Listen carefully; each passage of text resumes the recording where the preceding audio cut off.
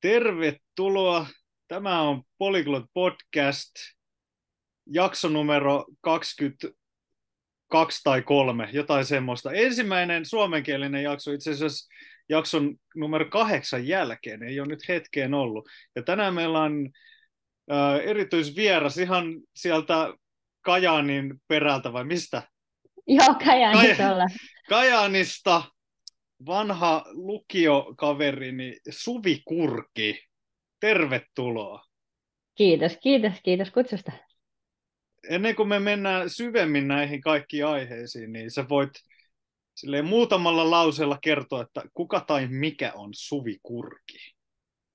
Tämä on ihan hirveä kysymys. Tämä on hirveä, filo, tämä on hirveä filosofinen kysymys oikeasti, jos mennään oikein syvälle. Mua kerran, multa kerran tätä kysyttiin yhdessä työhaastattelussa, ja sitten mä vastasin vaan kaikkea, mitä mä oon niin tehnyt työelämässä. Sitten ne oli No, silleen, että No vastasitko nyt mielestäsi Niin. kysymykseen? no skipataanko tämä jostain niin huono kysymys? Me voidaan vaan No mennä ei, itse asiaan. Okei. Okay. Voi, voimme jotain sanoa. Tai mä sanon just siitä, mitä mä oon, mä oon niin tehnyt. Mä en oikeasti tähän niin kuin itse tutkiskelun matkaan vielä sen verran niin kesken, että mä en oikeasti tiedä, Mm. mm. kuka minä olen. Mutta tota, yes. Eli no jos mennään sitten, että märskyn jälkeen kävin tota tosiaan kouluja siinä vähän sen eksyin Italiaan pariksi vuodeksi tanssin kautta ja nyt sitten on ollut näissä Kiinan jutuissa. Kiinan tutkimusta luin Turun yliopistossa ja sitten päädyin kiinalaiseen firmaan töihin ja edelleen sillä polulla. Mä asun tällä hetkellä siis Saksassa, Frankfurtissa, mutta matkustelen todella paljon ympäri Eurooppaa työni takia, on myynti- myyntityössä tällä hetkellä. Ja niille, jotka ei ole suomalaisia, koska jos jotkut, jotka opiskelee Suomea, saattaa myös katsoa näitä suomenkielisiä jaksoja, tai jotkut, jotka ei asu, perhana kun joku laittelee viestiä, ota, pistä. Tai ne, jotka ei asu pääkaupunkiseudulla, niin Märsky on lukio, jossa minä ja Suvi olemme käyneet Helsingissä, eli Mäkelän rinteen lukio, koska Märsky ei välttämättä kerro mitään ihan kaikille. No ei, ei välttämättä käydä kyllä mitään suom- monelle suomalaisille. Niin sitä mä mietin, ehkä tuo niin Kajaanissa kaikki ei välttämättä tietää, että mikä se semmoinen märsky, että märskyn jälkeen, mikä, mikä toi oli? Niin kyllä, joo. Eli lukion jälkeen. Joo. Mutkien kautta olen päätynyt niin kuin Italian ja Kiinan monen kaupungin Joo, kautta olen mut- päätynyt Saksaan. Mutta sä sanoit just, että sulla on itsetutkiskelu kesken, niin tehdään tä, tä, tässä jaksossa se itsetutkiskelu niin kuin, äh, tämän jakson aikana. Ehkä sä ymmärrät tämän jakson lopussa sitten, kuka sä oot. Ehkä, ehkä valaistuminen tapahtuu tämän podcast-jakson aikana. Kato, ei se sitä ikin tiedä, milloin se tulee. Ei, ei tiedä, ei tiedä, se voi kyllä tulla Okei, taivaalta alo- annettuna. Niin, mä luulen, että tänään on se päivä, kun se valaistuu. Hyvä. Aloitetaanpas siitä, kun sä synnyit. Okei. Aloitetaan siitä. Aloitetaan siitä, mennään vähän taaksepäin ennen kuin mennään eteenpäin. Okei. Okay. Joo. Uh, no sä oot, mä en tiedä, haluatko kertoa milloin sä oot syntynyt, koska ollaan Suomessa, mutta sä oot tottunut Kiinassa varmaan siihen. Niin, mä olen syntynyt vuonna 1990 juhannuksena. Ja tota, syntymä oli sinänsä dramaattinen, että Oho, mulla, mulla oli tota, napanuora kaksi kertaa mennyt pään ympäri, että ilmeisesti en kauhean iloisena halunnut tulla tähän maailmaan. Ja, eikä. siellä- joo, mutta siitä selvittiin. Että Miksi sä silleen menit, miksi silleen menit tekemään? Laittaa kaksi kertaa vielä kaala ympäri. En tiedä, varmaan joku eksistentiaalinen kriisi oli jo siinä vaiheessa päällä, että tähän No maailmaan en halua tulla. No toi on jo next level, että jo silleen, ennen kuin sä oot syntynyt, noin niin, kyllä. tuommoinen eksis, suuri eksistentiaalinen kriisi. Eli mihin, missä, mihin sä synnyit? Mi, mihin sä putkahdit? Missä sä olit, kun sä putkahdit ulos? Jorvin sairaala. Eli Hel, Helsinki vai onko se Espoo? Eikö Jorvi ole Espoota mun mielestä? Joo, mutta siis Joo. kirkkonummelainenhan minä olen alun perin, että sitten Niin, niin, kirkkonummelle kuskattiin aika pian. Mutta... Joo, Okei. mutta Espoossa on se lähin synnytyssairaala Jorvissa. Tarina al- alkaa Kirkkonummelta tai, ja Espoosta. Näin, kyllä. Dramaattisissa merkeissä. kyllä, kyllä. No mitä, silloin kun, jos mennään siihen sun sikiöaikaan, mitä sä kuulit ulkopuolelta? Oliko se onko sun molemmat vanhemmat kirkkonummelaisia? No ei ole, kyllä kukaan ei ole kirkkonummelainen kuin minä ja minun veli. Eli siis isä on Pohjois-Karjalasta kotoisin ja äiti on täältä Kainuusta kotoisin. Eli puhu, kuulit sä sitten vähän semmoista Kainuun ja Karjalan murretta vai? Kyllä, näin on. Niitä on kunnat. Onko kirkkonummessa oma, oma, omanlainen tapa puhua? No aika silleen stadin slangi. Tietty sit siellä on suomenruotsalaisia paljon enemmän alkaa olla jo kirkkonummella. Että sitten ruotsia kuuluu ja ehkä sellaisia niinku, no, no sehän liittyy myös vähän stadin slangiin, sellaisia niinku ruotsi, mm. ruotsista otettuja sanoja sitten paljon enemmän. Ja, Onks, ja tuleeks... fraaseja kanssa tulee, niin kuin kirkkonummella käytetään ruotsinkielisiä, kun se on niin paljon ruotsinkieltä. Tuleeko mieleen nopeasti jotain esimerkkejä? No, no siellä voidaan sanoa vaikka just ihan silleen, että ilma, ei sanota kiitos, vaan taksomykke. Ja sitten voidaan sanoa heidoa käyttää niin kuin ihan suomalaisissa piireissäkin kanssa, tai, mm. tai tällaisia, tai jettekivaa ja niin, niin. tällaisia voidaan vaan heitellä niin kuin ihan suomalais, suomala, suomen kieltä puhuvienkin kesken. No miten, miksi sun vanhemmat sitten oli kirkkonuomella? Mitä ne siellä teki? Miten ne päätyi sut synnyttämään siellä? Tai siis sun äiti enemmänkin. No siellä, mä en tiedä, äiti, varmaan, äiti oli varmaan saanut niin kirkkonummelta töitä, mä luulen, mutta siis tai en mä tiedä kumpi, ei, kun se oli varmaan, että mun isä oli, kun se oli sillä osuuspankissa töissä, niin se oli varmaan saanut ekaa töitä, ja sitten äiti tuli perästä, ja sitten sai kirkkonummelta töitä, kun äiti on niin opettaja, niin siihen aikaan ainakin oli helpompi saada töitä. Okei. Okay. Uh, mitä, mitä kieliä sun vanhemmat ja sun isovanhemmat osaa suomen lisäksi? No, isovanhemmat ei puhu muuta kuin murteita, että Kainuun murretta ja sitten Karjala, Karjalan murretta, Pohjois-Karjalan murretta, mutta tuota, ää, sitten äiti puhuu, no isä puhuu kanssa ää, suomea ja englantia ja sitten pikkasen ruotsi, mutta ei kauhean vahva ruotsi. Mm. Että se on vähän silleen, että eihän niin kuin Kainuussa tai pohjois se on vähän heikompaa ehkä se ruotsin opetus ja ope, opettelu kanssa kuin sitten vaikka niin. mitä meillä oli kirkkonummella. Tai silleen tuntuu, että ei ole niin sitä motivaatiota, kun ei sitä kuule. Kun kirkkonummella kuuli niin kuin pienestä pitää sitä ruotsin kieltä, mutta sitten taas ei kauheasti pohjoisemmassa Suomessa, että, tai siis tuolla idässä päin, mm. Kainuussa päin kuule. Aloitko puhua sitten enemmän niin kuin kirkkonummelaiset siellä ympärillä vai niin kuin sun äiti tai isä? Vai oliko sun äidin ja isän murteet jo tavallaan vähän laimentunut? Ja, no siinä vaiheessa, kun sä olit nuori ja se aika, kun Joo. sä muistat. Oli laimentunut, kyllä. Siis siinähän käy sille ja edelleenkin meidän äidillä käy sille, että sitten jos se viettää aika täällä Kainuussa tai niin. puhuu mun enoon tai näin sukulaisten kanssa, niin sittenhän se tulee tosi voimakkaana se murre. Mutta sitten jos hän ei ollut tekemisissä niin kuin niin sitten hän puhuu sellaista aika niin kuin selko yleissuomea, pikkasen ehkä, sitten siellä voi olla kainumurteen vivahteita ja sitten voi olla niin kuin tuolta Etelä-Suomesta sellaista slangia pikkasen mukana. Niin, niin, joo. Mä muistan saman, kun me mentiin Helsingistä Tampereelle, mistä mun äiti on. Niin sitten sit kun se puhuu sen sukulaisten, mä olin silleen, miksi äiti puhuu nyt erilainen? Niin, joo. joo. Joo, mutta siis se no, sama niin kuin on, oli, tai oli isällä, että ei, ei, se, ei, ei puhuttu niin kotona Karilla murretta, mutta sitten taas kun mentiin sinne niin kuin mummolaan ja näin sukulaisten luon, niin sitten se tuli sieltä. Ja mulla tulee, käy se niin kuin edelleen. En mä voimakkaasti ala puhua murteita, mutta kyllä se niin kuin tarttuu. Että mun kaverit sanoo aina, kun mä oon käynyt sukulaisille, että nyt sä puhut taas tuota murretta, että onpa outoa. Kun... Sitten tulee. Joo. Varsinkin niin kuin ne painotukset, et en mä niin, kuin, niin voimakkaasti lähtisi mietä tai sieltä käyttää yleensä. Joskus voi käydä niin. silleenkin, mutta sitten sit saattaa Joo. tulla ne painotukset silleen tiet, tietyllä tavalla. Tulee karjalaisittain tai sitten tulee mutta Mä en edes voisi lähteä tuohon mie ja siihen juttuun. Musta tuntuisi niin feikiltä. Mä, mä pystyisi. Niin, kyllä se siihen ei ole kasvanut. Joo, no mutta mehän muutetaan nyt Rovaniemelle, niin siellähän kaikki käyttää sitä mieltä ja sieltä, sieltä niin mutta mä, mä en, muhun ei yleensä tartu mitkään, mitkään tuommoiset murteet. Mä oon yleensä silleen, että ei, ei en, en, en lähde tuohon. Vastustat. Mut, joo, mä vastustan aika, aika kovasti.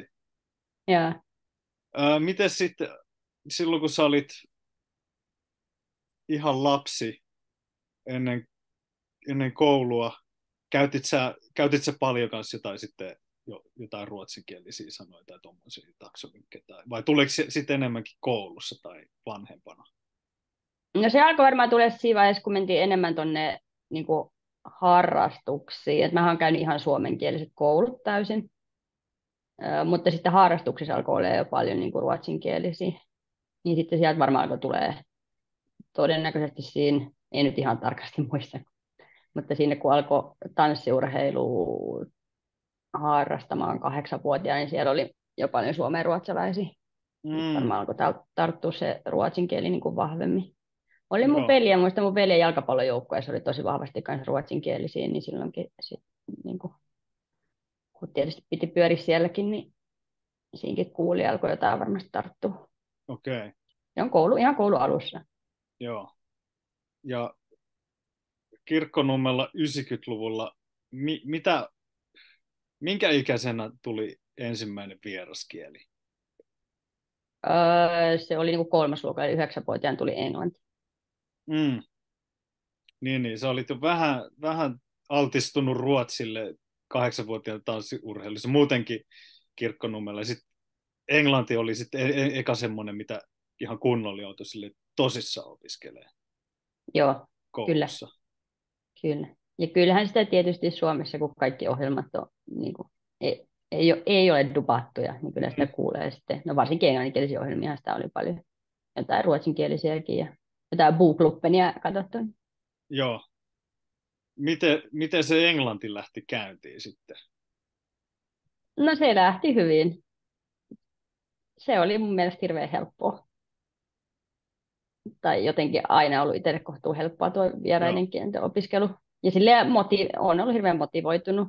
Mm. Ja pienestä pitää opiskelemaan kieliä. Joo. Tuli tuosta mieleen, että mullahan ei ihan niin pehmeitä lasku ollut, kun mehän kuusivuotiaan muutettiin yhtäkkiä Englantiin. Sitten mun piti silleen, mä luulin, että et, et mulla on vuosi aikaa, että sitten pitää mennä kouluun. Mun, mun tät, täti muutti he, pariksi kuukaudessa, kuukaudessa meidän kanssa, ja se sanoi, että se osoitti meidän koulussa, silleen, kuukauden päästä sinäkin oot tuolla. Sitten mä oon silleen, mitä hittoa, mä oon kuusi. Ei mun pidä vuoteen. ei, ei, no. vuotta ennen. Sitten mä joudun siellä koulu alkaa ja mä joudun niinku kaivaa mun jokaisen sanan, minkä mä kuul, muistan kuulleeni Power Rangersista. Mä menin silleen mun pään sisällä silleen, silleen ota, help, mom, kun siis siellä ennen kuin koulu alkoi, pihalla jotkut tyypit alkoi jahtaa ja ne yritti potkia mua ja lyödä.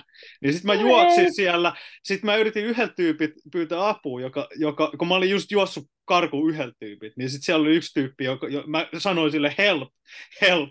Mä en osannut muuta sanoa, kun mä olin silleen, okei, okay, mä osannut mom, mutta mä tiesin kyllä, että se tarkoittaa äiti, että mä olin silleen, vitsi, sitä, ei, ei tosta nyt mitään hyötyä. Ja no aika, aika tommonen rankka alku mulla. Sitten piti jotenkin oppia se. Ja sittenhän me asuttiin ne kolme vuotta Virossa sen jälkeen, niin senhän ta- sitten me tuli nelosluokalle Suomeen, niin mähän en, en tarkkaan tiennyt, sit, että milloin meillä 90-luvulla syntyneillä edes alkoi englanti, mutta ilmeisesti se oli sitten aika, aika laajalti Suomessa kolmosluokalla silloin kaikkialla. Joo, Koska... kyllä mä luulen, että se on ollut silloin. Joo, koska nythän se on muuttunut. Ainakin mun si- nuorempi sisko, joka täytti, ei perhana, se täytti tänään 13, eikö 14, pitää, pitää onnitella jossain vaiheessa. Niin sillä hän alkoi jo ekalla luokalla. Ja minkä, kuinka paljon nuorempi sun veli on? Kimmo on vaan kolme vuotta nuorempi. Ah, et silläkin alkoi sitten varmaan kolmasella vai? Joo, alkoi vasta kolmasen.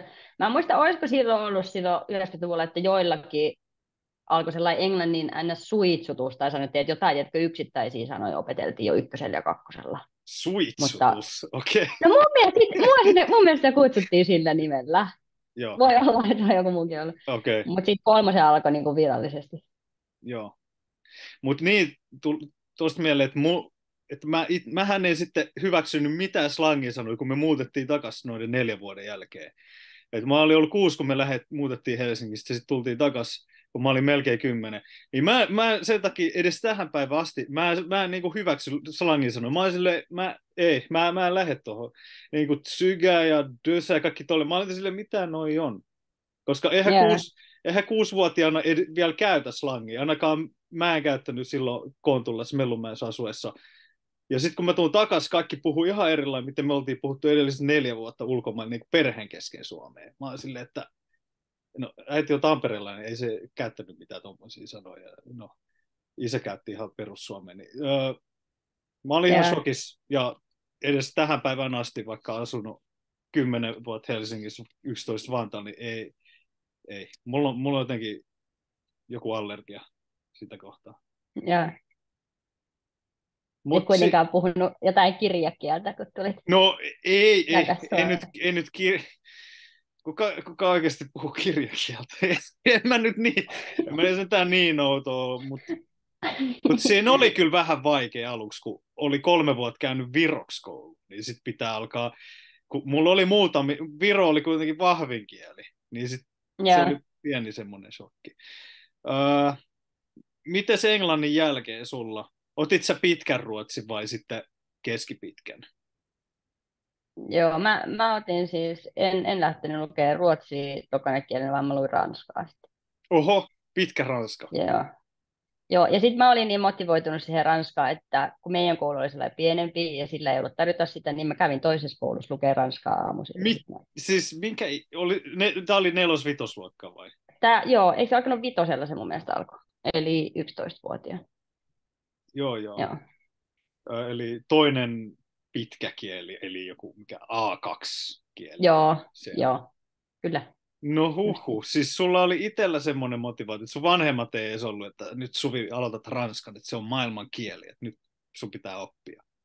Ei, ei, tietysti kannustettiin, että, että oli kiinnostusta, mutta mä olin itse päättänyt, mä, niin kuin sitä jotenkin selvitettiin se koulussa, että onko tämä mahdollista, ja sitten todettiin, että no kyllähän se käy, ja sitten ne kaksi koulua sai jotenkin sovittua silleen, että mä pystyin käymään ranskan kielen tunneen nyt, ka- koulussa. Nyt kaikki nykynuoret siellä, ottakaa mallia Suvista. Koska, mä en tiedä, oletko kuullut, mutta ongelma näiden nykynuorten kanssa on just se, että ne ei opiskele enää kieliä niin paljon. Tai siis ne kah- 20 vuodessa mun mielestä se on tippunut jotain, olisiko 20 prosenttia, mä en muista enää, mutta sillä ihan niin kuin huomattava määrä. Mä en tiedä, oletko itse kuullut mitään tästä? En no, mä en tota niin seuraa, mutta siis onko se, tarkoittaako se niin kuin kielten määrää vai siitä niin kuin, tavallaan tuloksia ei vaan, ka- kielessä? Ei, vaan kaikki, siis ihan kielten opiskelijoiden määrä kaikissa vieraskielissä ah, okay. englannin lisäksi. Joo, okei. Okay. Joo, että et alkaa olla ongelma, että ei löydy sit tarpeeksi just yliopistoihin, että niillä jää ylimääräisiä paikkojakin yliopistossa, jos haluaa jotain ranskaa tai jotain kieltä opiskella. Että niillä että alkaa olla vaikea saada koulutettua opettajia ja sitä kautta asiantuntijat, jotka pystyisivät vaikka tekemään jotain ulkomaankauppaa. Niin kuin, no Saksan kohdalla on kai isoja ongelmia jo tulos, että ei riitä tyyppejä, jotka osaisi suomessa kieliä. Ja sitten kun se kielivalikoima pienenee kanssa, kun on vähemmän niitä, jotka opiskelee ja sitten päätyy vaikka opettamaan niitä kieliä, niin sitten niin tämä kielivaranto niin sanotusti köyhtyy.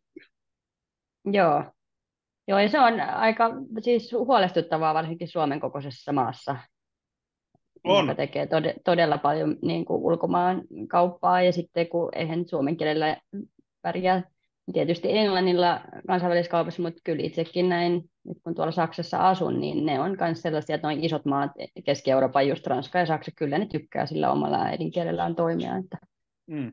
No sama Italiasta kauppaa, niin Italiassa sama homma. Että... Joo, Niinpä. Uh, nyt, nyt uuteen nousuun. Joo, sen takia mä yritän kannustaa tälle hyvin niin kuin, rakentavasti olemalla. Että so, so, nykynuoret. Toimii varmasti. Ihan varmaan, ihan varmaan. Jos, jos ne nyt ylipäätään on päässyt tätä podcastia näin pitkälle, mä, mitä mä epäilen, tarvittaisiin joku Roni Buck tai joku muu, joka sanoisi, että nyt kaikki opiskelee kieliä, niin mä luulen, mä luulen että jotenkin silleen se onnistuu. Tai mitä sä luulet, miten, miten niin kuin nuoret saataisiin innostettu opiskelee kieliä?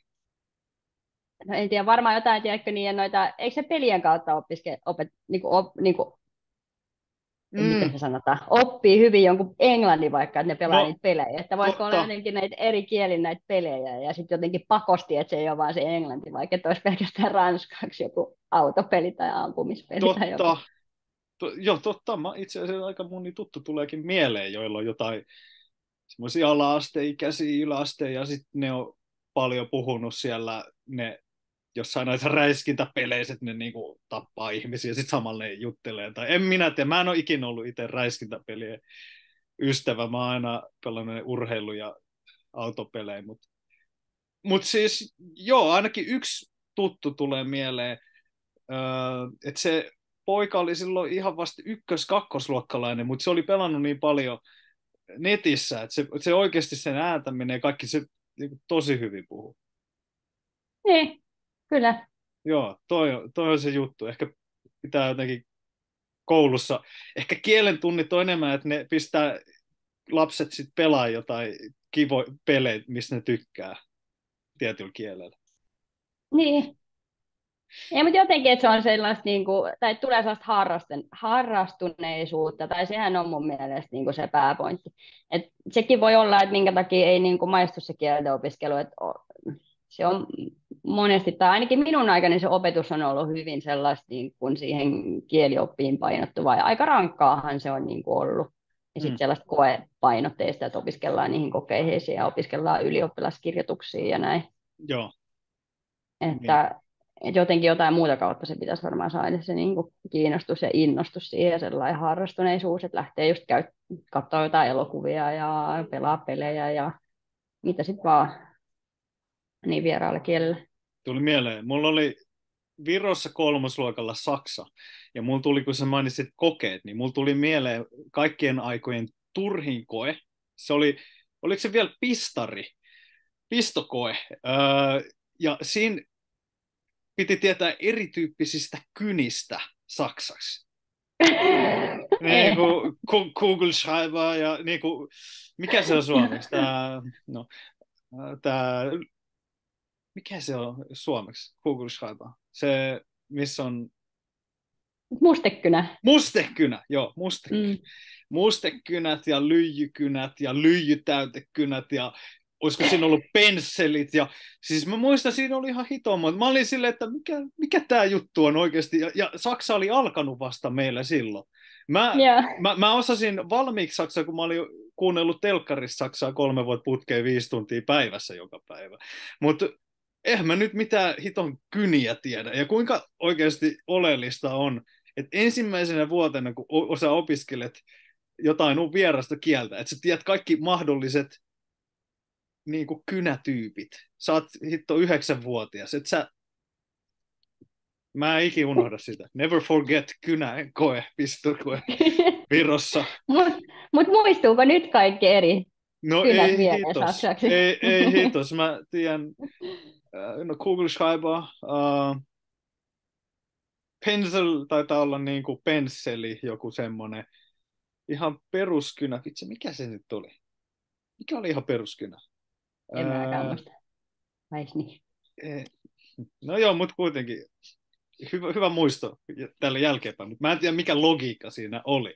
Ja no muuten mun mielestä Suomessa on ollut ihan, ihan silleen hyviä ne kokeet, kokeet enkun tunne tälle, ja kyllähän se on vaatinut kuitenkin aika paljon työtekoa, mutta en mä tiedä, mun mielestä se on ihan, ihan hyvä kanssa, on ollut silleen kokeita ja pitänyt osata kielioppia, koska sitten se kielioppi mulla ainakin lukiossa tuntuu, että se kun oppi kaikki niin kuin englannin kielen rakenteet, että sitten se englannin kielen osaaminen oli aika hyvällä tasolla verrattuna, kun miettii, sullakin varmaan kokemuksia siitä, että kun Kiinassa, kun No mun, mun, kun mähän oli kolme kuukautta Chengdussa, ja siellä oli kaksi tyttöä, jotka, joilla oli yliopisto niin kuin kandin paperit englannista, mutta mä sanoisin, että Suomessa yläasteella jo osataan paremmin englantia kuin ne. Mm, joo, kyllä. Niin, Olen törmännyt moneen samanlaiseen tapaukseen. Joo, niin pitäisit sä kuitenkin sen, että, tai vaihtaisit sä nämä kokeita kieliopin opettelun sitten pois vai te, tekisikö siitä vaan jotenkin kivempaa jollain eri tavalla? Niin, ehkä se, siis kyllä ne on todella tärkeitä siinä kielen opettelussa. Kyllä sun pitää olla ymmärrys siitä niin kuin kielen rakenteesta just niistä. Tai kyllä se kielioppi niin kuin täytyy osata. Mutta sitten jotenkin, että siihen lomaan saisi niin kuin sellaista enemmän just sitä puhumista ja kuuntelemista ja sellaista päivittäistä niin kuin kielenkäyttöä. Ja en, en itse ole opettaja, niin en, en mm. siis todellakaan tiedä tällaisia niin kuin pedagogisista asioista tarpeeksi, Joo. että voisin lähteä nyt tässä sillä tavalla kommentoimaan, mutta siis on vaikka se, että just sieltä alkuajan Ranskan niin kuin, opinnoista, niin on jäänyt tosi hyvin kyllä niitä kieliasioita päähän. Ja sitten sama, samoja juttuja on, no kun mä puhun näitä muita lattarikieliä kanssa, niin sitten nämä kerrundit ja muut löytyy sieltä kanssa sitten niin kuin, ö, Espanjasta ja Italiasta, niin on nämä ottanut niin kuin sinnekin, että sitten kun ne kerran oppii, niin sit, se tavallaan se logiikka siellä niin kuin toistuu eri niin kuin saman kieliryhmän kielissä. Ei aina ihan täysin, kuten Joo. voimme todeta vaikka Englannista ja Saksasta, että siellä on hmm. paljon myös poikkeavuuksia. Jaetaanko me kuitenkin suomenkielisinä viha subjunktiivia kohtaan, vai tykkäät sä, vai oliko se ollut helppo sulle? Ee, joo, ei ole helppoa, ja mä vieläkin mukana sen kanssa erittäin Sama. paljon, mutta ei se kauheasti niin kuin, haittaa puhuta se Joo sulla oli sitten Ranska koko yläasteen kanssa jatkuu aina lukion asti. Joo, kyllä mä kirjoitin sitten lukiossa pitkä Ranska. Öö, otit, otit sä yläasteella jotain, eikö kasi, kasiluokalla alkoi sitten meidän, ei kun sulla alkoi sitten, niin sulla, sä otit keskipitkän ruotsin seiskalla, tai siis sulla alkoi Joo, niin alkoi, joo kyllä, mutta sitten mä niin kuin lukiossa mä kirjoitin kuitenkin pitkä ruotsia, että mä lukiossa, mä, taisin, mä luin lyhyen ruotsia, mutta mä kirjoitin pitkä ruotsia jotenkin, että mä kävin, kävin niin kuin sekä lyhyttä Oho. että pitkää ruotsia lukiossa. Oho. No kun opettaja sanoi, että sulla on aika hyvä tuo ruotsi, niin kannattaa ehkä pitkänä se kirjoittaa. Ja sitten mä kirjoitin siitä en pitkänä muistaakseni. Oho, aika, aika kova. Joo. Öö, ennen kuin puhutaan lukiosta enemmän, kun siellä mä tiedän, että sä otit lisää myös, mutta sulla oli sitten Sä kävit yläasteen vielä Kirkkonummella. Joo, yläasteen mä kävin Kirkkonummella. Olikohan Kirkkoharjun koulu nimeltä. Joo, että sulla oli alaaste yksi tietty koulu, sitten sä vaihoit siitä vaan johonkin siihen lähi yläasteelle. Joo, näin. Joo, yläasteella sulla oli tosiaan se englannin lisäksi pitkä ranska ja sitten se keskipitkä ruotsi. Näin. Joo. Ja sitten sun tanssiharrastus ehkä vei sut märskyyn? Joo, kyllä näin on. Hel- Helsingin puolelle? Kyllä, olit sä... isoon kaupunkiin. Isoon kaupunkiin, niin. Oli, olit, mm, sä kuinka, olit sä kuinka tosissaan siinä kohtaa öö, tanssin kanssa? Et olit sä ihan alka ryhtymässä ammattilaiseksi vai tulit sä tanssin kautta vai niin kuin todist, todistuksen kautta märskyyn? Mä tulin, mä pääsin todistuksen kautta, koska meikä hikari, mulla oli varmaan yläasteen päättötodistus joku 9,6 keskiarvo vai mitä, en mä muista. Sama, sama. Samikse. Joo, mulla oli Jee, se. hikarit. Joo, ei mun, ei mun tota pituushypyn SM-kisojen kymppisijalla varmaan olisi päässyt mihinkään. Joo. Joo, meikä pääsi kanssa ja raahasin myös tanssiparini mukana, niin silloin kirkkonummelta märskyyn. Niin, niin, niin se oli sille, no niin, nyt, nyt, me mennään märskyyn. Joo, kyllä. Tämä oikeastaan meidän valmentaja sille, nyt kun miettii jälkikäteen, mä olisin saattanut olla onnellisempi siellä kirkkonummen lukiossa, mutta... Ai jaa. No, joo. Miksi? No se on vähän, no se on vähän, kun se, se meni just ehkä siihen, että otti liian tosissaan se urheilu. Mm. Tai kyllä sitten niin sai treenata, mutta sitten se olisi pitänyt olla jotenkin hauskempaa. Tai näin jälkikäteen ajateltuna. Että sitten se meni liikaa siihen tulostavoitteluun tai sellaiseen. Niin, niin. Se ei ole enää kauhean kivaa. Joo. Ja niille, jotka ei ole pääkaupunkiseudulta tai edes Suomesta, niin meidän lukio, Mäkelärinteen lukio, sinne voi päästä, se on vähän niin kuin tämmöinen eliittilukio, tai että sinne, ei kuka tahansa pääse, kuka tahansa tota, tavallinen tallaaja. No ei, ei pitää, olla, pitää olla joku, no eikö se ole näin? No onhan se, kyllä, niin. Et si, joko pitää olla tietty keskiarvo, joka vaihtelee vuodesta, että onko se, silloin kun me päästiin, se oli muistaisin 8,9, mutta yleensä se on jotain 9-9,5, että pitää olla ihan todella kova koulussa. Tai sitten, jos on huono koulussa, niin riittää, että on ihan tosi kova jossain urheilulajissa, niin kuin oman, oman lajin niin kuin parhaita, niin sitten voi myös päästä, päästä sinne kouluun. Niin sen takia siinä meidän lukiossa oli semmoinen, että siellä oli, no monet oli i- molempia, että hyviä urheilussa ja hyviä koulussa, mutta sitten jokainen oli kuitenkin jossain hyvä.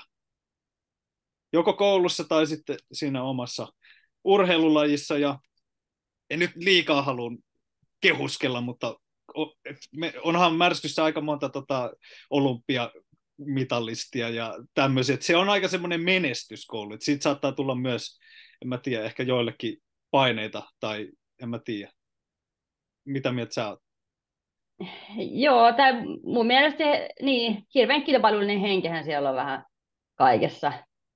Et mulle tämä maaginen märskyhenki ei ole ehkä ikinä sillä tavalla auennut, kun sitä niin hirveästi korostettiin. Tai mun mielestä se oli enemmän ehkä sellaista tavallaan sen yksilön ja, tai sen jotenkin sen lajin sellaista puustausta ja ö, korostusta niin kuin sellaisesta menestymisestä ja niin kuin, että tavoitteet korkealle ja sinne on päästävä keidolla millä hyvänsä Joo, vähän tyyppistä meininkiä.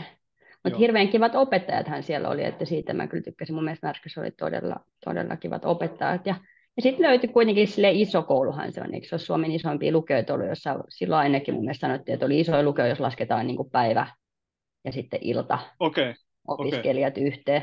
Niin, että sitten löytyi kuitenkin se oma porukka sieltä, ja siis monet mun lähimmistä kavereista, niin kuin tänäkin päivänä on märskystä. Mm. Vaikka sitä ei meinaa muistakaan, että sieltä ne on tullut, mutta sieltä ne on niin tullut mun elämään. Erittäin kiitollinen siitä.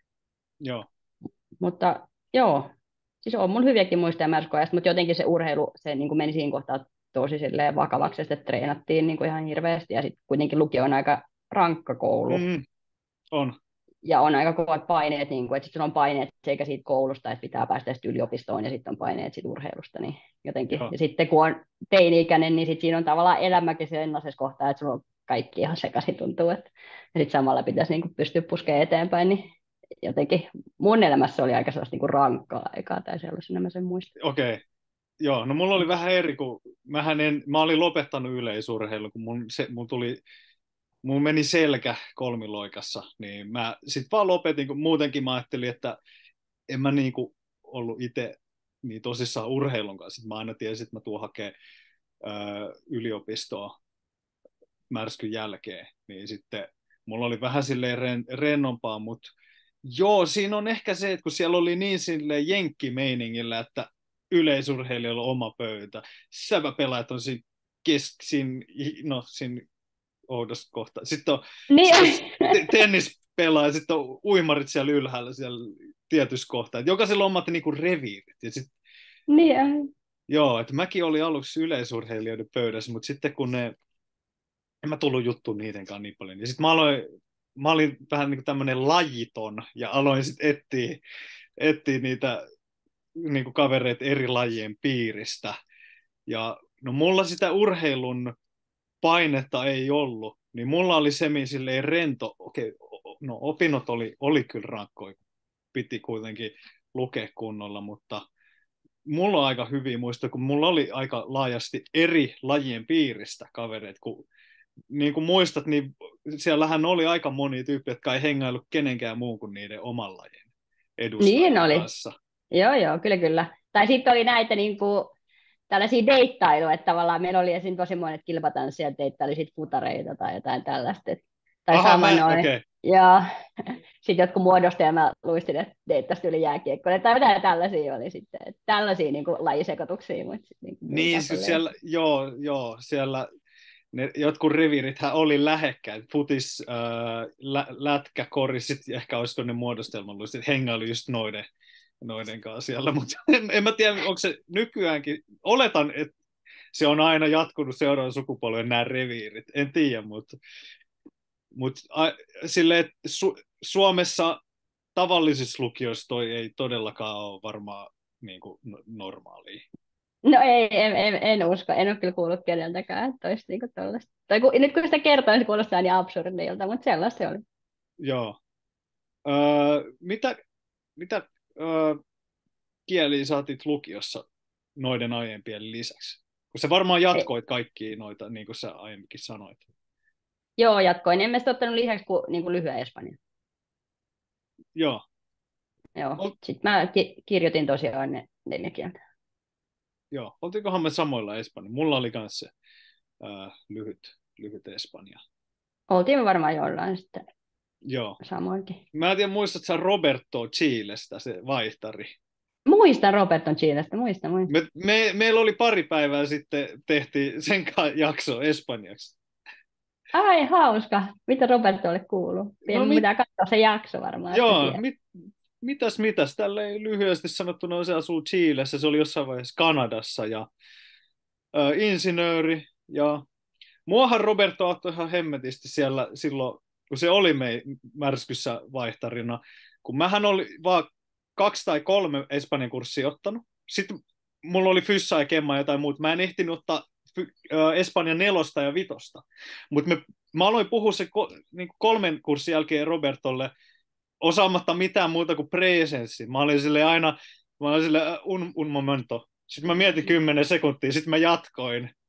Ja ekat pari kuukautta meni tolleen. Ja sitten me, me silloin Messengerissä juteltiin kanssa siinä vanhas kunnon Microsoft Messengerissä. Ah, niin siinä. Joo, Oikeassa Messengerissä. Se oikea, se oikea, meidän, meidän ikäisille ainakin.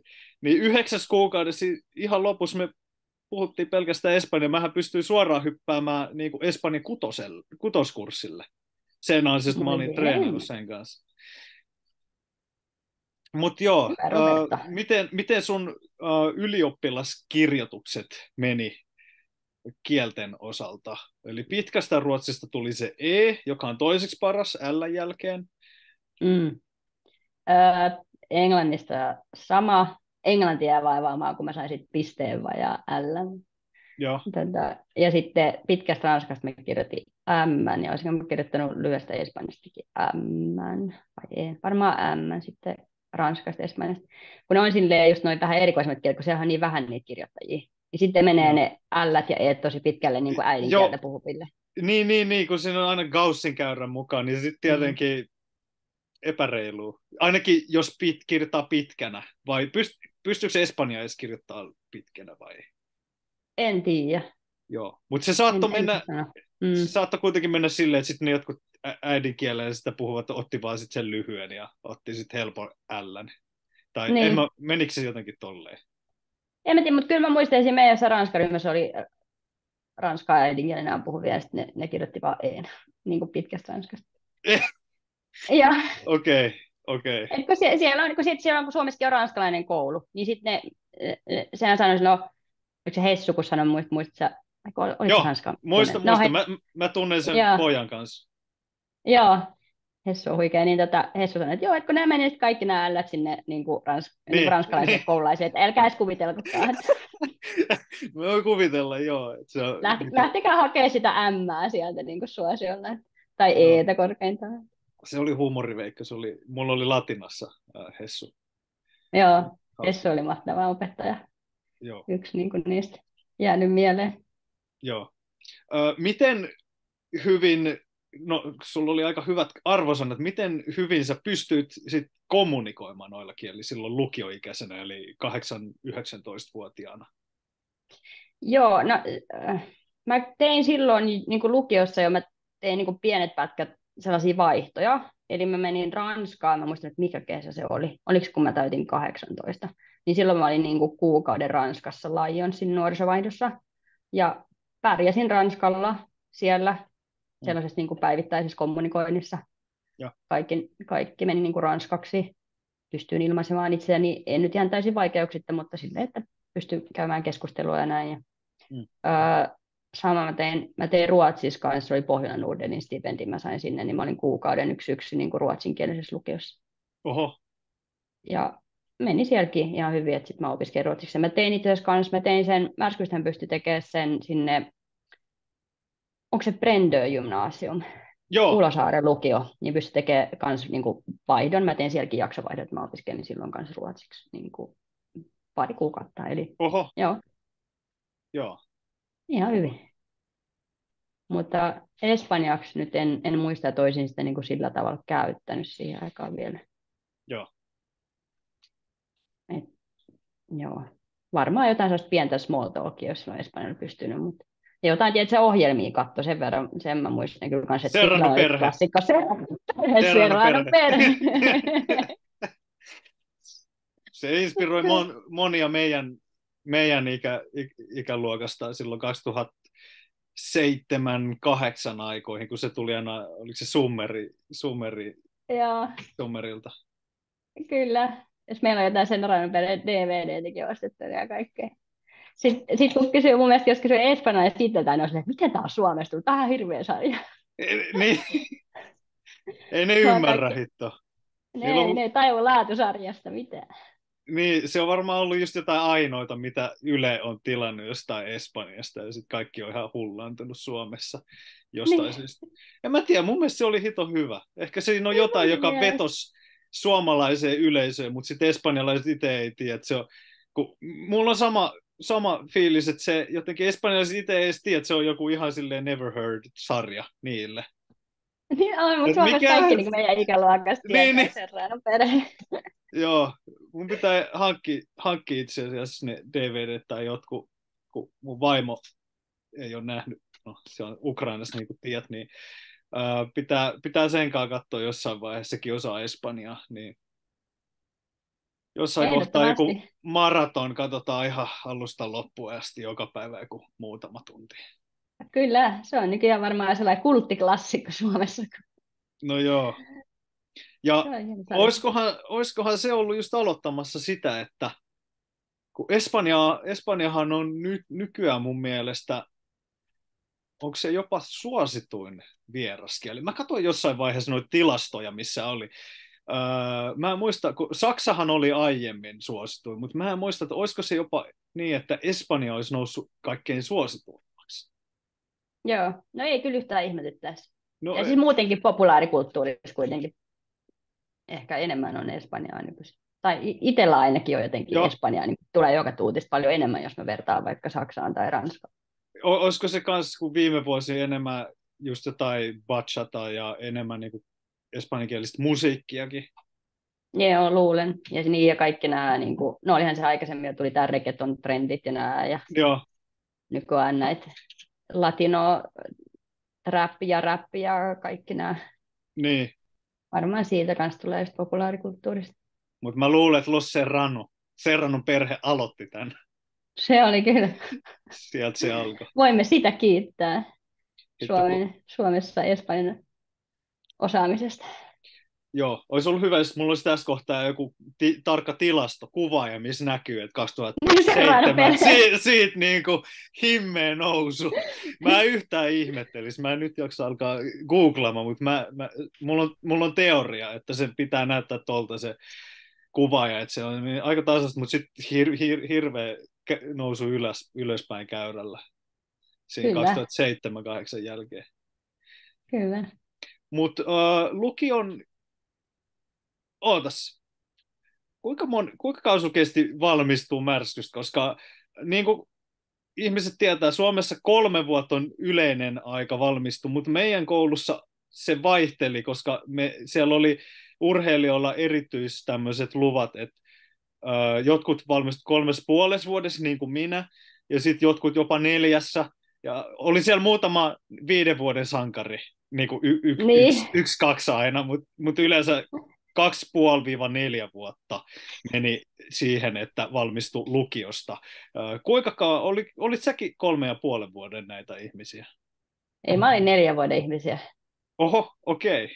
Joo, mutta mut mulla se liittyi myös siihen, että kun mä luin niin monta ainetta, ja varsinkin näitä kieliä, niin, niin mulla oli ihan hirveästi kyllä niitä kursseja sit lopulta. Et, mm, muistanko mä oikein, että mulla oli joku 110 niin kuin, noita opintoja. No, jotain. siis mulla oli joku 88, sekin oli jotain yli 10 yli sen oliko se 75 se raja, niin Joo. tuohon himmeä määrä. Sitten kun sulla oli varmaan aika paljon niitä val, uh, aamu, mitä ne onkaan? Aamu, Aamuvalmennus, aamutreenejä, joo, mulla oli niistä niin pisteet, joo. Joo. Mutta sulla ei varmaan ollut mitään semmoisia pidempiä leirejä, kun eikö jotkut purjehtia, jotkut, joillakin oli jotain, ne on jossain Etelä-Afrikassa oli joku kokonaisen jakso ja teki kaikki, tentti kaiken. Mä muistan, jotku, joidenkin lajien edustajilla oli jotain tommosia. Niin oli, ja sitten just joillain noilla alppihiiteillä, onko tämä nyt oikea termi, sitten ne meni jonnekin laskemaan jonnekin mm. vuorille kanssa. Joo. Pitkäksi aikaa. Joo. Se, se harmitti vähän just siellä märskyssä, kun itse ei ollut semmoinen ammattiurheilija, ja sitten niin monet tyypit, kenen semmoiset, tuli hyvin juttu, ei sitten ehtinyt kuitenkaan hengailemaan niin paljon, koska niillä oli tosi paljon treenejä. Niin kuin uimareilla oli 10-11, 10-11 treenit viikossa, ja sitten aika monilla muillakin oli joka päivä, ja joskus joinakin päivinä kahdet. Niin sitten kaveriporukka enimmäkseen muodostui niistä, jotka ei treenannut niin tosissaan. Vaikka siellä oli mulla hyviä kavereita niidenkin joukossa, jotka treenasi ihan hitosti ja tosissaan. Niin se, se silleen märskyssä vähän harmitti, että kun ei kaikilla ollut niin paljon aikaa sit vapaa-ajalla. Mm, niinhän se oli. Kyllä se itselläkin meni, meilläkin oli just monesti yli kahdet treenit päivässä ja sitten viikonloput menee kisoissa tai leireillä ja tälleen, niin kyllä se koko elämä rytmittyi sitten sen treenaamisen niin kuin ympärilleen. Se oli se ykkönen, mikä laitettiin kalenteriin ja sitten kaikki muu sen jälkeen. Joo. No kyllä sä ainakin ihan, ihan silleen kiitettävästi kuitenkin päät, ehdit sosialisoitumaan ja bilettämään ja tä- tämmöisiä, mitä niin lukioja saa aletaan usein harrastella. Joo, kyllä mä vähän se. Sitten, mutta sitten se oli välillä vaan sitä, että sitten joutui lähteä aikaisemmin, että tietää, että jos on tulossa joku kisat tai jotain, niin se ei voi olla ihan yötä myöten. Sitten vaan jotain siellä etkoilee niin, niin. vaan aikaisemmin nukkumaan. Joo. Mennäänpä sitten siihen, että mihinkä sä sen neljän, vuod- neljän märskyvuoden jälkeen päädyit? Koska nyt sä asut Saksassa ja tässä on matkan varrella ollut Kiinakin, sun asui vaikka vuosia, niin miten, miten nämä vuodet lukiosta valmistumisen jälkeen meni ja missä? Joo, no, joo, no sitten on aika sellainen todella sekava palapeli, mitä mä en itse aina muistan, niin että minkä vuoden mä olen missäkin, kun sitten mä oon matkustellut niin kuin eri maiden väliäkin ja kaikkea ihan älytöntä. Mutta siis mä pääsin Tampereen yliopistoon lukemaan kauppatieteitä, johtamistieteitä, ja sitten muutin Tampereelle. Mutta en mä siellä Tampereelle ehtinyt asumaan kuin reilun vuoden, ja sitten mä muutin jo Italiaa tanssimaan, kun mä silloin vielä treenasin aika aktiivisesti. Jätikö sun opinnot kesken vai sä vaan lykkäsit vuodella vai miten, miten? No mä teen aika paljon etänä, että kyllä mä jatkoin tietysti vähän se hidastu siinä, mutta, mm. mutta joo, sit joo, kun mulla loppui niin suomalaisen tanssiparin kanssa, niin mä oon Italiasta löysin siis mit, tanssipariin. Miten, tämä, siis sä löysit, miten sä, sä löydät tanssiparin, sitten sä muutat Tampereet Italiaa? Joo, Mä sinne. Se mun pari silloin ne asui vielä jossain ihan keskellä ei mitään alpeilla, ihan siellä Sveitsin rajalla. Ja sitten mä olin siellä, että no niin, täällä sitten treenataan. Käytiin Milanossa treenailemaan välillä ja välillä sitten siellä jossain ihan ihme. Et sä yhtään lähem, lähempää löytänyt Tamperetta mitä pari? Joo, ei. No se on niin pieni tässä, se on niin tanssiurheilussa, ja mä tanssin siis vielä, mä erikoistuin niin vakiotansseihin, niin siinä on tosi tarkkaa niin pituuseroja, vaikka jotkut sun jalan pituus vaikuttaa tosi paljon, että kenen kanssa ylipäätänsä pystyt tanssimaan, sitten tavallaan siinä samassa niin kuin taitoluokassa on niin kuin todella vähän, että Suomessakin on ihan kourallinen ihmisiä, niin sitten niin kuin löytynyt, ja sitten toinen syy, miksi mä olisin Italian, koska siellä on niin kuin maailman parhaat kanssa opettajat, niin mä aloisin sinne niin kuin opettajien vuoksi myös, ei pelkästään sen tanssiparin. Paljon se pituusero, onko se joku tietty, että se pitää olla tämän verran? No se on suunnilleen, no, sitten naisilla on korkokenget, eli korkokenget jalassa mä sanoisin, että maksimissaan 10 senttiä. Kyllä mä niin kuin joitakin on juonut sellainen 15, voi olla parikymmentäkin senttiä se pituusero, mutta sitten se alkaa niin kuin jo näkyä tai se alkaa tulla tosi haastavaksi. Joo, eli ei saa olla liian lyhyt, mutta ei liian pitkäkään. Joo, kyllä, että se on aika tarkka. Oi, oi, oi. Ja sit, eli, no joo, mä ymmärrän nyt, miksi Italia. Öö, voiko se vielä kertoa, mitä vakiotansseihin, minkä nimisiä, onko joku valssi vakiotanssi vai mitä? On, joo. Valssi, tango, viini, valssi, foxtrot ja quickstep on ne viisi vakiotanssia. Öö, voit sä vähän hitaammin on viimeiset? Mikä ne oli? Foxtrot ja quickstep. Ah, okei. Okay. Joo, tämä tanssisanasto ei ole kaikkein vahvinta itselleni. Joo, ei, ei se ehkä ole tällainen. Vaikka, ei tanssia. Vaikka has, hauska fakta itse asiassa itsestäni, jonka oli unohtanut, mutta kolmen vuoden aikana Virossa, mähän, mähän joudun tanssiin niitä virolaisia kansantansseja. Joka perjantai. Joka Pääsit tanssimaan. He, joudun, joka hemmetin perjantai. Kun Virossahan, Virossahan, niin kuin ehkä tiedät, on vahvat kansantanssiperinteet ollut 1800-luvut, niin kuin Latviassa ja Liettuassa.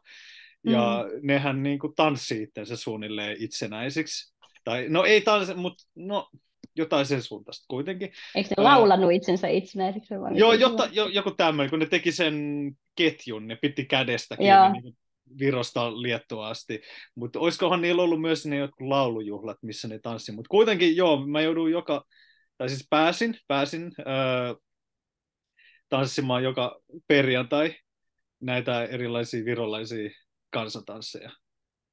Ja jo, no niin. oli joitakin tämmöisiä festivaaleja myös, kun, tai mitä ne olikaan. Jo, joka toinen vuosi on jotkut laulujuhlat tai semmoiset. Sitten me jouduttiin jo, eikö siis, anteeksi, päästiin, päästiin. Mä, mä en nyt halua lepäkunnittaa sun lajikohta, niin päästiin niin kuin la, suurille lavoille kanssa. Ja mä oon siellä niin kuin vieraassa maassa, mä silleen, että ei vitsi, mä vaan haluan takas Suomeen, mä en jaksa tätä Viroa, että vois mä nyt oikeasti päästä takas Suomeen, mä en niinku, mä, halu, mä tykkään pelaa futista, mä en halua tanssia, varsinkaan tyttöjen kanssa, niin kuin kyllä sä tiedät, tolleen niin kuin pi, nuorena poika, että sä niin kuin haluat tyttöjen kanssa tanssia. Tai ainakin mulla oli niin, niin, se on monelle sellainen, joo. Mutta ne on jäätävä kokoiset ne, viro, ne lauluihat, eikö ne ole? Ah, voi vitsi, jo, siis siellä oli, siellä oli joo, ne on aika isot. Meillä oli iso kulkue. Ja siellä oli varmaan kaikki Tarton koulut. Ja sitten se pitkä kulkueen päätteeksi me mentiin jonnekin semmoinen stadioni, missä me tanssittiin ja jotkut aikuiset katsoi, kun me tanssittiin. Mä olin vaan silleen, että milloin pääsin kotiin. Mä... Sitten mun sisko oli nähnyt mut telkkarista, kun ne oli tietenkin se kulkue tai jotkut televisioita. Mä olin silleen, oikeesti mä... Mi- mihin mä nyt jo... Ja sitten joku äijä mun takana, joku poika, astui ihan tahalleen koko ajan mun, mun, mun jaloille. No ei, hirveetä. Tiedätkö, 90-luvun Viro, oli ihan hiton rasistinen paikka. Se varmaan katsoo, että tuossa joku ruskea tyyppi. Astutaan, vittu, tehdään tämmöinen pikku jäynä. Se oli just tommosta siellä se 90-luvun Virossa. Mä, Mä voin vähän kuvitella, joo. Ja mun olisi tehnyt mieli kääntyä ja tehdä jotain sille, mutta en mä niin kuin voinut, kun muutenkin se kohta näkyy televisiossa sitten, että onneksi en tehnyt mitään olisi. No mutta kuitenkin joo, äh, on, löytyi tämmöinen kansantanssi äh, kokemus menneisyydestä, mutta äh, palataan sinne Italiaan. Sä löysit tolleen no, he, he, kivasti kätevästi Tampereen läheltä Italiasta, Pohjois-Italiasta, tanssiparin ja hyvät olosuhteet. Ja mikä se paikka, eli Sveitsin rajan lähellä jossain, mikä niminen alue se on, kylä tai maakunta? Siis se on se alueen nimi on Valtellina. Okei. Okay. Öö, eli siellä on näitä laaksoja, niin tämän, tämän laakson nimi on Valtellina. Mutta mä asuin sellaisessa pienessä kaupungissa kuin Tirano. Okei, okay. Tirano. Joo, se on tunnettu siitä, että sieltä lähtee sellainen juna niin kuin Sveitsiin sinne Alppien yli, se menee, se menee niin kuin Saint Moritsiin asti. Se on joku, joku yksi niitä vanhimpia niin kuin Alppijunia. Okei, okay. Tirano kuulostaa jotenkin tosi tutut, mutta mä en tiedä, kuulostaako se vaan jotenkin joltain Game of Thrones paikalta, tai että se kuulostaa niin samanlaiset, että tuntuu sen takia tutut. Ja kuinka, kuinka kauan sä olit Tiranossa? No ei me Tiranossa ollut alle vuoden, ehkä joku kymmenen kuukautta. Joo, ja Joo. puhuit sä sun tanssiparin kanssa englantia vai? No aluksi mä puhuin vähän englantia, mutta sitten ensimmäisellä tanssitunnilla jo selvisi, että eihän tämä valmentaja puhu mitään muuta kuin italiaa. Ai! niin. Nyt täytyy oppia sitten italiaa äkkiä. Ja... Semmoinen pikku tehtävä. Joo, sitten mä jotain aluksi puhuin kato vähän espanjaa siinä. Mm. Ja mikä, mikä nauratti mun valmentaja hirveästi silloin. Ai jaa, miksi? Joo. No se, se on jotenkin se vaan, että tämä, tämä, tämä Espanja on kun vaan lisää Italiaa tuonne S, S perään, niin se on Joo. sama. Niin, niin. Mutta tota, joo, no sitten aika nopeasti mä aloin puhua jo italiaa. En mä jotenkin muista, se tuli ihan silleen muutamassa kuukaudessa, sitten pystyi jo niinku kommunikoimaan. Joo, eli Jotenkin oli niin helppo se Espanjan jälkeen. Niin. sä, oot, sä osaat hyvin varmaan sitten vielä tanssisanastoa Italiassa. Joo, mä osaan, joo. Tää ihan He- random.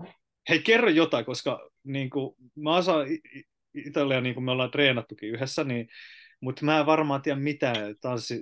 Jos tulee muutamia mieleen jotain termejä. Oh, mitäköhän olisi. Mm, onkohan tämä mun mielestä on niin jotenkin, täällä on sellainen kolippola. Joo. Sitten paljon käytetään vaikka sanaa skiena, eli niin kuin selkä. Joo. Sitten mun valmentajalla oli sellainen oma termi kuin skienata, minkä Okei. tarkoittaa silleen, että sä oot niin kuin nojaat liikaa taaksepäin. Sitten Okei, okay. noin, se skienata. joo, okei. Okay. Tällaisia. Ei, ei nyt ole jotenkin yhtäkkiä tälleen vaan Niin, niin. mieleen. Joo. Niin. Mutta uh, mitä sen jälkeen? Ta- te, sä olit siellä sen alle vuoden, mutta päättyykö Joo. se yhteistyö sitten? Joo, se päättyi. Ei ollut niin hirveän mukava tyyppi tämä mun sellainen tanssipari, että Joo. eikä ollut, joo, niin sitten mä tulin takaisin Suomeen vähäksi aikaa, eikä mä siinä kohtaa mun kandin loppuun tai jotakin. Ja sitten sit mä taas aloin etsiä uutta tanssiparia, ja sitten se löytyi taas Italiasta. Oh, okei. Okay. Ja sitten muutettiin takaisin Italiaan. Tai siis siinä kohtaa mä niinku koko ajan siis vähän niin kuin rappasin, kun pitää opintoja sille, sinne Tampereelle, niin mä kävin siellä kuitenkin koko aika Tampereella, sitten pitikin tehdä jotain kokeita ja jotain kursseja, että silleen, mä ihan niin kuin yhtäjaksoisesti ollut siellä Italiassa. Mutta periaatteessa oli sellainen niin yhteensä noin reilu kahden vuoden pätkä, missä mä olin niin Italiassa ja sitten vähän aikaa Suomessa. Ja sitten joo, se toka paikka, minne mä muutin, oli, se oli ihan siinä Mila- Milanon lähellä. Sieltä oli tanssipari. Joo. Ja sitten sen kanssa loppu. Ja sitten mun löytyi Italiasta taas toinen tanssipari. Ja sit Siis mä muutin- kolmas vai? Joo, kolmas. ja sitten sit mä muutin Spoletoon tonne Umbriaan ja sinne Joo. keskelle niin kuin Italia. Näin. Oliks tämän tokan ja kolmannen kanssa puhuit Italiaa sitten pelkästään? Joo, kyllä. Sitten meni kaikki ihan italiaksi. Joo. Huomasitko mitään eroja niiden kolmen asuinpaikan välillä eh, siinä it- italian kielessä? Joo, huomasin. Ja siis se oli hauska just kun tämä kolmas tanssipari, nyt se toinen tanssipari oli alun perin etelästä, mutta se oli asunut niin kauan siellä pohjoisessa, että se puhui niin kuin ihan sellaista niin kuin pohjois-Italian italiaa. Mutta sitten tämä kolmas tanssipari oli sieltä Spoletosta, ja hän puhui sellaista muodetta kuin Spoletino, Okei. Okay. Spoleton muodetta, ja hän sanoi aluksi, että hän ei meinaa ymmärtää niin kuin teidän niin kuin tätä Pohjois-Italiaa. Ja, niin. joo, sitten sit meni vähän aikaa, sitten me alettiin niin kuin paremmin ymmärtää toisiamme. niin. Joo, mutta siis mulla on edelleenkin kyllä, mulla on enemmän niin sellainen pohjois-italian. Joo. Mutta sitten mä opin jotain sellaisia, mä opin ymmärtää niin kuin sitä spoletinoa, mutta en, en, jotain, jotain fraaseja silleen muistaa vielä, jotain mangiamo. Että Niin kuin manja, niin kuin man, Joo, manja- mangiamo. Mangiamo on niin kuin manja, mangiamo. Joo, mangiamo. Okei. Okay. An, sitten andiamo, niin kuin annaamo, tai jotenkin tolleen. Ah, okei. Okay. Oliko se yleistä, että niin kuin j, äänteessä tuli niin kuin vai joku semmoinen j, j, ja toi, sama niin kuin äänenmuutos eri sanoissa varmaan kanssa. Joo, ja sitten oot, joo, se oli niin kuin vähän silleen pehmeämpi jotenkin, ja sitten se niin kuin oot muuttuu sen välillä uuksi tai jotain tällaista. Joo, okei. Okay. Ja uh, sitten kolmannen tanssiparin jälkeen, olit sä saanut jo sun, sä teit se koko ajan samaan aikaan sun opintoja Tampereelle. Joo, tein. Ja sait sä valmiiksi, sait sä kandin, maisterin, paperit?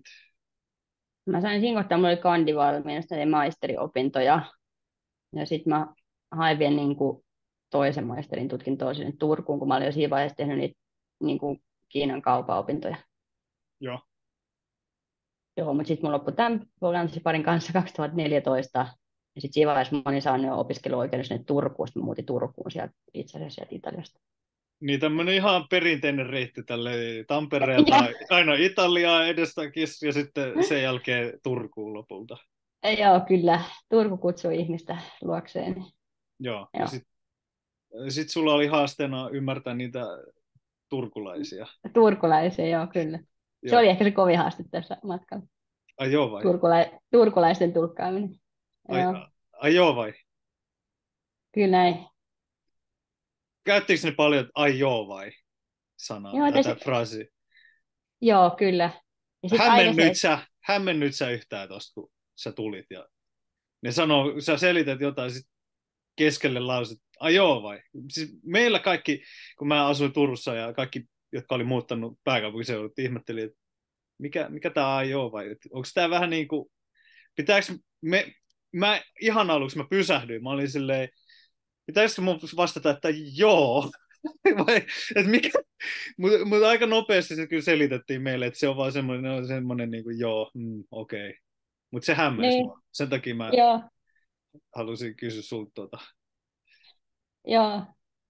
Joo, kyllä se oli myös hämmentävää. Ja sitten sit se, että monet asiat alkaa silleen, ei, tai niin kuin, et sä mitään kaffet ottaisi.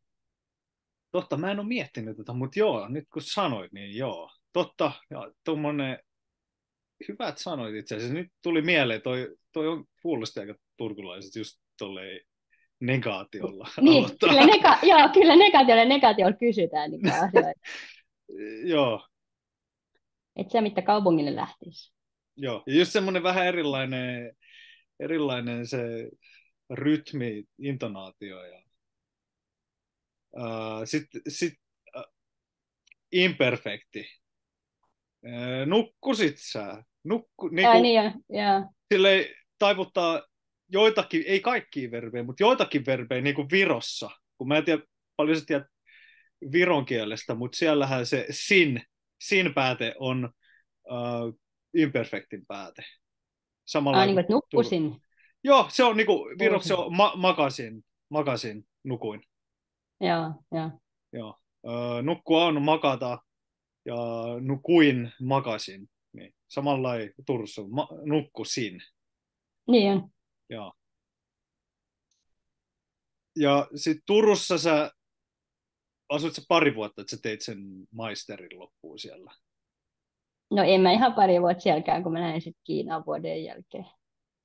Okei, okay. kesken maisteri vai? Ei, eikö sitten, sit mä tein, siis se oli ihan opintoihin liittyvää, että mä tein niin kuin vaihdon sinne Kiinasta, mä, tai kun mä luin siinä vaiheessa Kiinan tutkimusta pääaineena, niin sitten sit lähdin sinne Kiinaan opiskelemaan Kiinan kieltä sinne vuodeksi. Milloin sä olit aloittanut Kiinan? Olitko sä jo kuitenkin Turussa tai Tampereella vai milloin?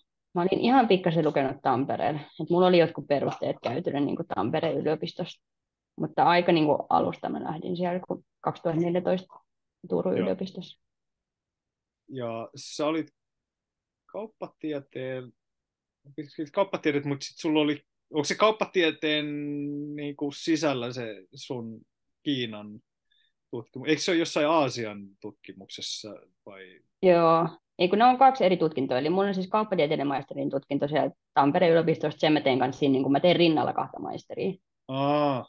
Eli mä jatkoin vielä vähän aikaa niitä Tampereen opintoja, ja sitten tein niitä Turun opintoja. Mutta se Turun on, se on niin kuin poliittisen historian alla, se on Itä-Aasian tutkimuskeskuksessa, ja sieltä valmistutaan valtiotieteiden maisteriksi. Mutta siellä mm. on niin kuin, meidän pääainen nimi on niin kuin Itä-Aasian tutkimus, englanninkielinen ohjelma East Asian Studies, ja sitten jokainen mm. niin kuin, erikoistuu johonkin tiettyyn näistä Itä-Aasian valtioista, eli Japaniin, Koreaan, yleensä puhutaan Etelä-Koreasta ja sitten Kiinaan. Minä erikoistun Kiinaan ja Kiinan tutkimukseen. Oliko sinulla kuitenkin jotain Japaniin ja Koreaan liittyviä kursseja tai kielikursseja? Öö, kielikursseja ei ollut. Kie- kielestä oli niinku pakollinen se tavallaan se oman, niinku, minkä, mitä maata sä mm. tutkit, mm. niin sen, sen maan kielen opiskelu öö, ja tavallaan vaatimuksena olisi ollut se, että sen maan niin kuin kielen, eli minulla kiinan kielen jotain lähteitä pitäisi olla niin kuin siinä gradussa sitten. Joo. Uh, mutta sitten meillä oli kyllä kaikki nämä peruskurssit tavallaan, mitä piti käydä, niin sitten siellä oli tällaista niin kuin Itä-Aasian historiaa ja tällaisia tai lähihistoriaa ja sitten oli, niin oli luentoja niin kuin siihen alueeseen liittyen. Joo. ja vuoden jälkeen sitten sä, sä löysit jotenkin sit jonkun harjoittelupaikan Kiinasta. Just mä lähdin, tota, se oli ihan vaihto, yliopistovaihto. Ah. Oliko se Erasmus vai oliko, se, onko sillä jotain nimeä sillä vaihto-ohjelmalla? Ei, kun ne on niitä kahdenvälisiä sopimuksia. Mutta se, itse mut se eka vaihto olikin Tampereen yliopiston kautta, koska Tampereen yliopisto oli sellainen jännä kahdenvälinen sopimus ihan erittäin randomin kiinalaisen yliopiston kanssa Nanjingissa keskellä ei mitään. Joo. Jo, ja, ja heillä ei ollut niin kuin, siis kenenkään muun yliopiston kanssa niin kuin vaihtosopimusta, että vaan Tampereen Joo. yliopiston. Ja sitten sit, sit, sit siellä oltiin me neljä suomalaista, ja sitten sit muuten kaikki oli siis vain kiinalaisia. Joo. Ja sitten meille, meille neljälle oltiin järjestetty siellä niin kuin Kiinan opetusta vuodeksi. Et se oli tosi sellainen intensiivinen niin kuin Kiinan opiskeluvuosi. Ja siis sen takia mä sinne halusinkin, kun mä tiesin, että siellä ei ole, niin kuin, sä et joudu siellä siihen, tai sulla ei ole mahdollisuutta mennä siihen ulkomaalaiskuplaan. Et sit, niin kuin, tai jos sä et halua olla vaan niin neljä ihmisen kanssa, niin sitten on mitään, tai kolmen muun, niin sitten pitää niin kuin, ottaa kiinalaisiin kontaktiin. Mun on pakko katsoa, missä Nanjing on. Koska Kiina on niin, Nanjing on tutun kuulonen, mutta mä en nyt jotenkin... Joo. Eli Jiangsuun maakunta vai? Joo, kyllä. Se on niin Shanghai pikkasen pohjoiseen. Se on entinen, se on jossain pääkaupunkikin, historiallinen. Vai mikä kaupunki. pääkaupunki? Jonkun vanha imperi? Jonkun vanha, niin. Joo. Okay. Jonkun dynastian tai miksi niitä kutsutaan. Ja sä olit Nanjingissa, oliko se ihan Nanjingissa keskustelu, vai onko se joku jossain siellä kaupungin ulkopuolella, vai missä päin Nanjingiin sä oot sitten Ei, asunut? Siis se oli ihan todella kaukana, siis sieltä meni joku yli tunti sinne keskustaan niin kuin julkisilla tai autolla. Joo. Siis se oli just sellainen, että sitten meidän yliopiston ulkopuolelta lähti niin kuin jotain riisiviljamiä syötään vaan vesipuhveleita. Niin Oho, okei. Okay. Sitten se, oli vielä, se yliopisto oli vielä rakennettu jonkun vanhan suon päälle. Siinä oli, Joo. voit kuvitella, miten kivasti siellä oli niitä hyttysiä. Sitten oli niin kuin vanhaa suoaluetta. Siellä oli aivan siis kerran me spreijattiin niin kuin meidän huoneesta, me laskettiin, että kerralla kuoli joku sata hyttystä siihen. No huh. Miten se teidän arki, millaista se oli asua siellä tunnin päässä Nanjingista? Miten, mitä kaikkea siinä vuodessa tapahtui? Meillä oli tällä erittäin mielenkiintoinen siis se ohjelma, mikä meillä oli järjestetty siellä. Siis pääasiassa oli kiinan kielen opiskelu, mutta sitten oli tällä kiinan kielen ja kulttuurin sitten meillä oli muun muassa tällaista niin kuin paperitaittelua, tällaista niin kuin perinteistä kiinalaista niin kuin askartelua. Sitten me taiteltiin jotain niin kuin joutsenia Joo. siellä tunnilla ja paperikukkia. Ja sitten meillä oli jotain kiinalainen laulutunti, sitten opeteltiin kiinalaisia lauluja siellä. Joo. Ja sitten meillä oli tai chiita ja kung futa ja Oho. tällaista. Joo. Wow. Sitten, sitten siinä oli niin kuin lähellä tai kohtuu lähellä oli sitten niin kuin sellainen ostari, missä välillä käytiin, ja sitten siellä oli kuntosali. Käytiin siellä. Sitten siellä oli jotain, siellä oli kans, siinä koululla oli myös kilpatanssikerho, tai siis tanssiurheilu, se oli vakioita ja lattareita, niin tota, pystyi treedaamaan, ja sitten minä tietysti aloin opettaa siellä vakiotansseja niille kiinalaisille. Joo. Siellä oli vähän heikompaa se vakiotanssi, niin sitten mä olin siellä. Ja sitten välillä käytiin viikonloppuisin Nansingin keskustassakin asti. Joo sait sä sitten palkkaa vai ihan, ihan silleen vapaaehtoistyönä vai miten se tanssi Joo, se oli ihan, ihan vapaaehtoistyönä tai sitten mä sain niinku tunt, jotain tanssitunteja ilmaiseksi. Joo. Ja äh, oliko Nanjingin yliopistossa paljon muita, tai mistä muista maista siellä oli kuin te neljä suomalaista? Eikö siellä ei just ollut mistään muista maista? Ah, joo, okei. Okay. Joo. Niin, niin. Tästä y- Joo. että se, se yliopisto itse asiassa on niin kuin, mikäköhän se on englanniksi sen yliopiston nimi, se on niin kuin Pekingin kommunikointiyliopisto, Communication University of China. Se on niin kuin Pekingissä pääoma, Nanjing oli vaan sellainen, niin kuin, en tiedä miksi se sanotaan, tytäryliopisto tai sellainen niin kuin sen alapuolella oleva sellainen pienempi. Niin, niin että niillä oli Nanjingissa kampus, vähän niin kuin, onko Turulla, Turun yliopistolla on täällä Porispäin kanssa joku, tai ta, oliko se Tampereen yliopisto, on Turussa joku oma kampus kanssa, joku tämän tyyppinen systeemi varmaan myös. Joo, kyllä, joo. Että kyllähän Nanjingissa on just joku, vaikka siis Nanjingin yliopisto nimenomaan, niin se on, se on niin kuin iso ja arvostettu vanha yliopisto, että siellä varmasti onkin, niin. olikin, olisi ollut ulkomaalaisia, mutta sitten tuolla ei kyllä ollut muuta kuin me, me neljä suomalaista. Joo, hengailetteko paljon yhdessä vai löysittekö kaikki myös jotain paikallisia kavereita? Joo, löydettiin myös paikallisia. Kyllä me tultiin niin kuin hyvin juttuun siis siinä meidänkin porukassa, mutta sitten siellä, tota, no kuitenkin vähän liian pieni piiri, niin paljon myös kiinalaisten kanssa hengailtiin sitten. Se oli kyllä tosi hyvä sen kiinan kielen niin oppimisen kannalta. Joo. Miten siinä vuodessa sun Kiina kehittyy? Millaista se oli alussa ja sitten siinä lopussa? Joo, no siis aluksi silleen, että pystyi jotain niin suunnilleen ruokaa tilaamaan tai jotain tuollaista kaupassa ihan perus ja niin kuin mitä kuuluu ja tällaiset vähän kertoo itsestään, mutta sitten vuoden lopuksi pysty käymään jo, no en nyt sanoisi, että ihan niin kuin vaikeuksista keskustelua, mutta kuitenkin vähän eri aiheista ja niin kuin pärjäs sellaisessa niin kuin arjessa niin kuin helposti Kiinalla ja Joo. pysty käymään niin kuin pidempiäkin keskusteluja. Joo. Olisit sä esimerkiksi siinä, sen vuoden lopussa pystynyt vaikka niin kuin tämän tyyppisen podcast-jakson tekemään Kiinaksi vielä? En, en olisi Joo, joo. mutta semmoisia laajasti kuitenkin itsestään kertomaan. Ja, Joo. Joo. Uh, ja sitten sä palasit siinä kohtaa Turkuun sen jälkeen. Joo, kyllä. Sen jälkeen palasin Turkuun, jatkoin opintoja. Apuako nyt menee vuodet ihan sekaisin. Turku, vai onko se Turkuuseen? Sanoiko ne Turussa Turkuuseen? Turkuuseen, joo. Turkuuseen.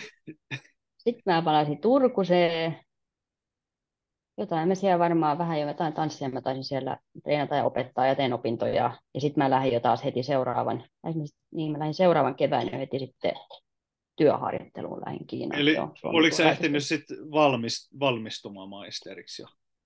En vielä. Et ne tavallaan oli niitä yliopiston sellaisia harjoitteluita, että ne kuuluu vielä siihen opintoihin. Joo.